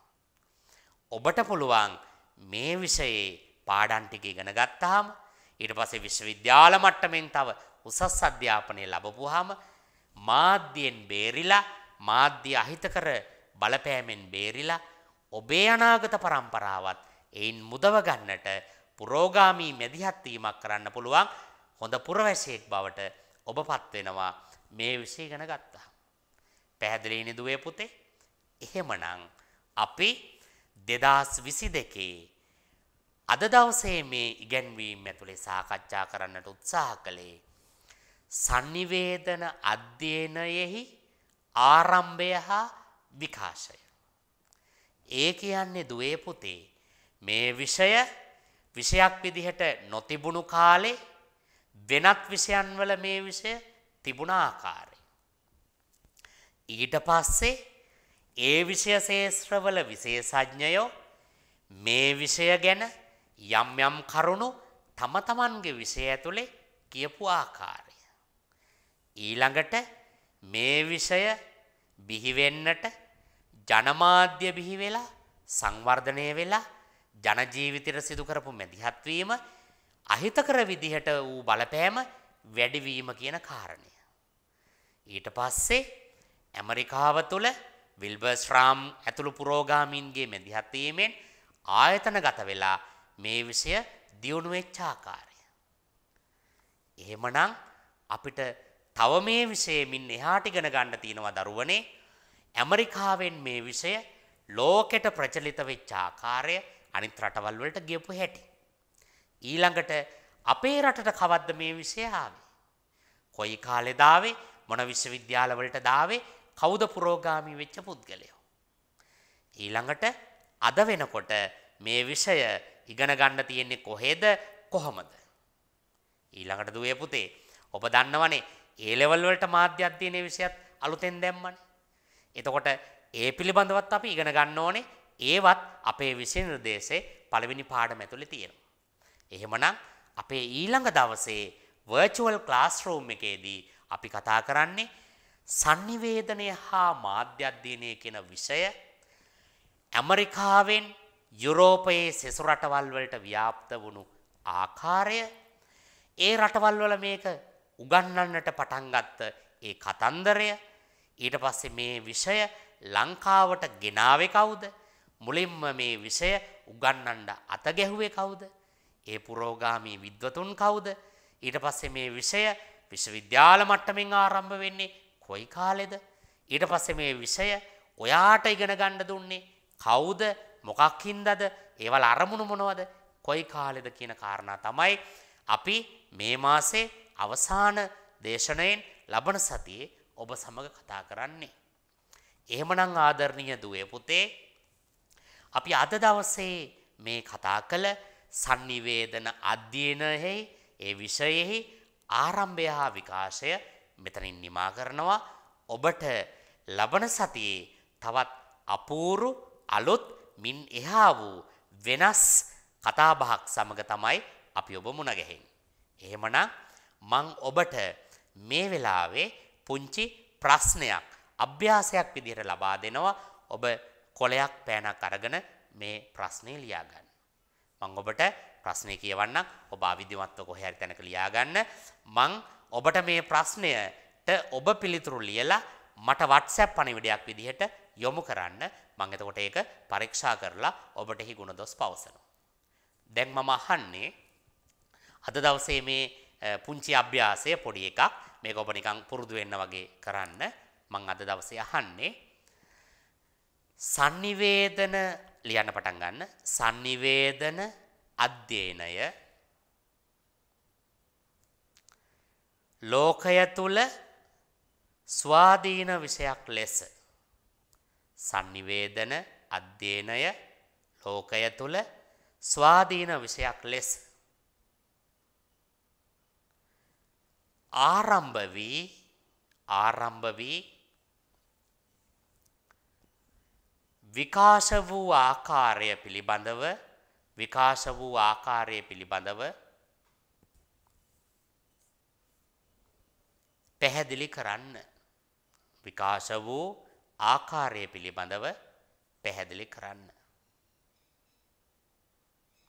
හරි දුවේ පුතේ එතකොට ඔබ ලියාගත්ත ප්‍රශ්නෙට කොලයක් අරන් A4 පිටුවක් කියලා අපි කිව්වොත් එක A4 පිටුවක එක පැත්තක් ලියලා අපි දැන් අද දවසේ කතා කරපු එකෙහි සාරාංශය ඔබේ ටියුට් එකේ තියෙන කරුණුත් අද මතකයත් එක්ක අරගෙන ඔබට අවශ්‍ය නම් මේකේ රිපීට් එකේදී ඒකටත් සම්බන්ධ වෙලා ඔබ දවස් දෙකක් විතර ඇතුළේ ලියලා මගේ WhatsApp අංකයට යොමු කරන්න.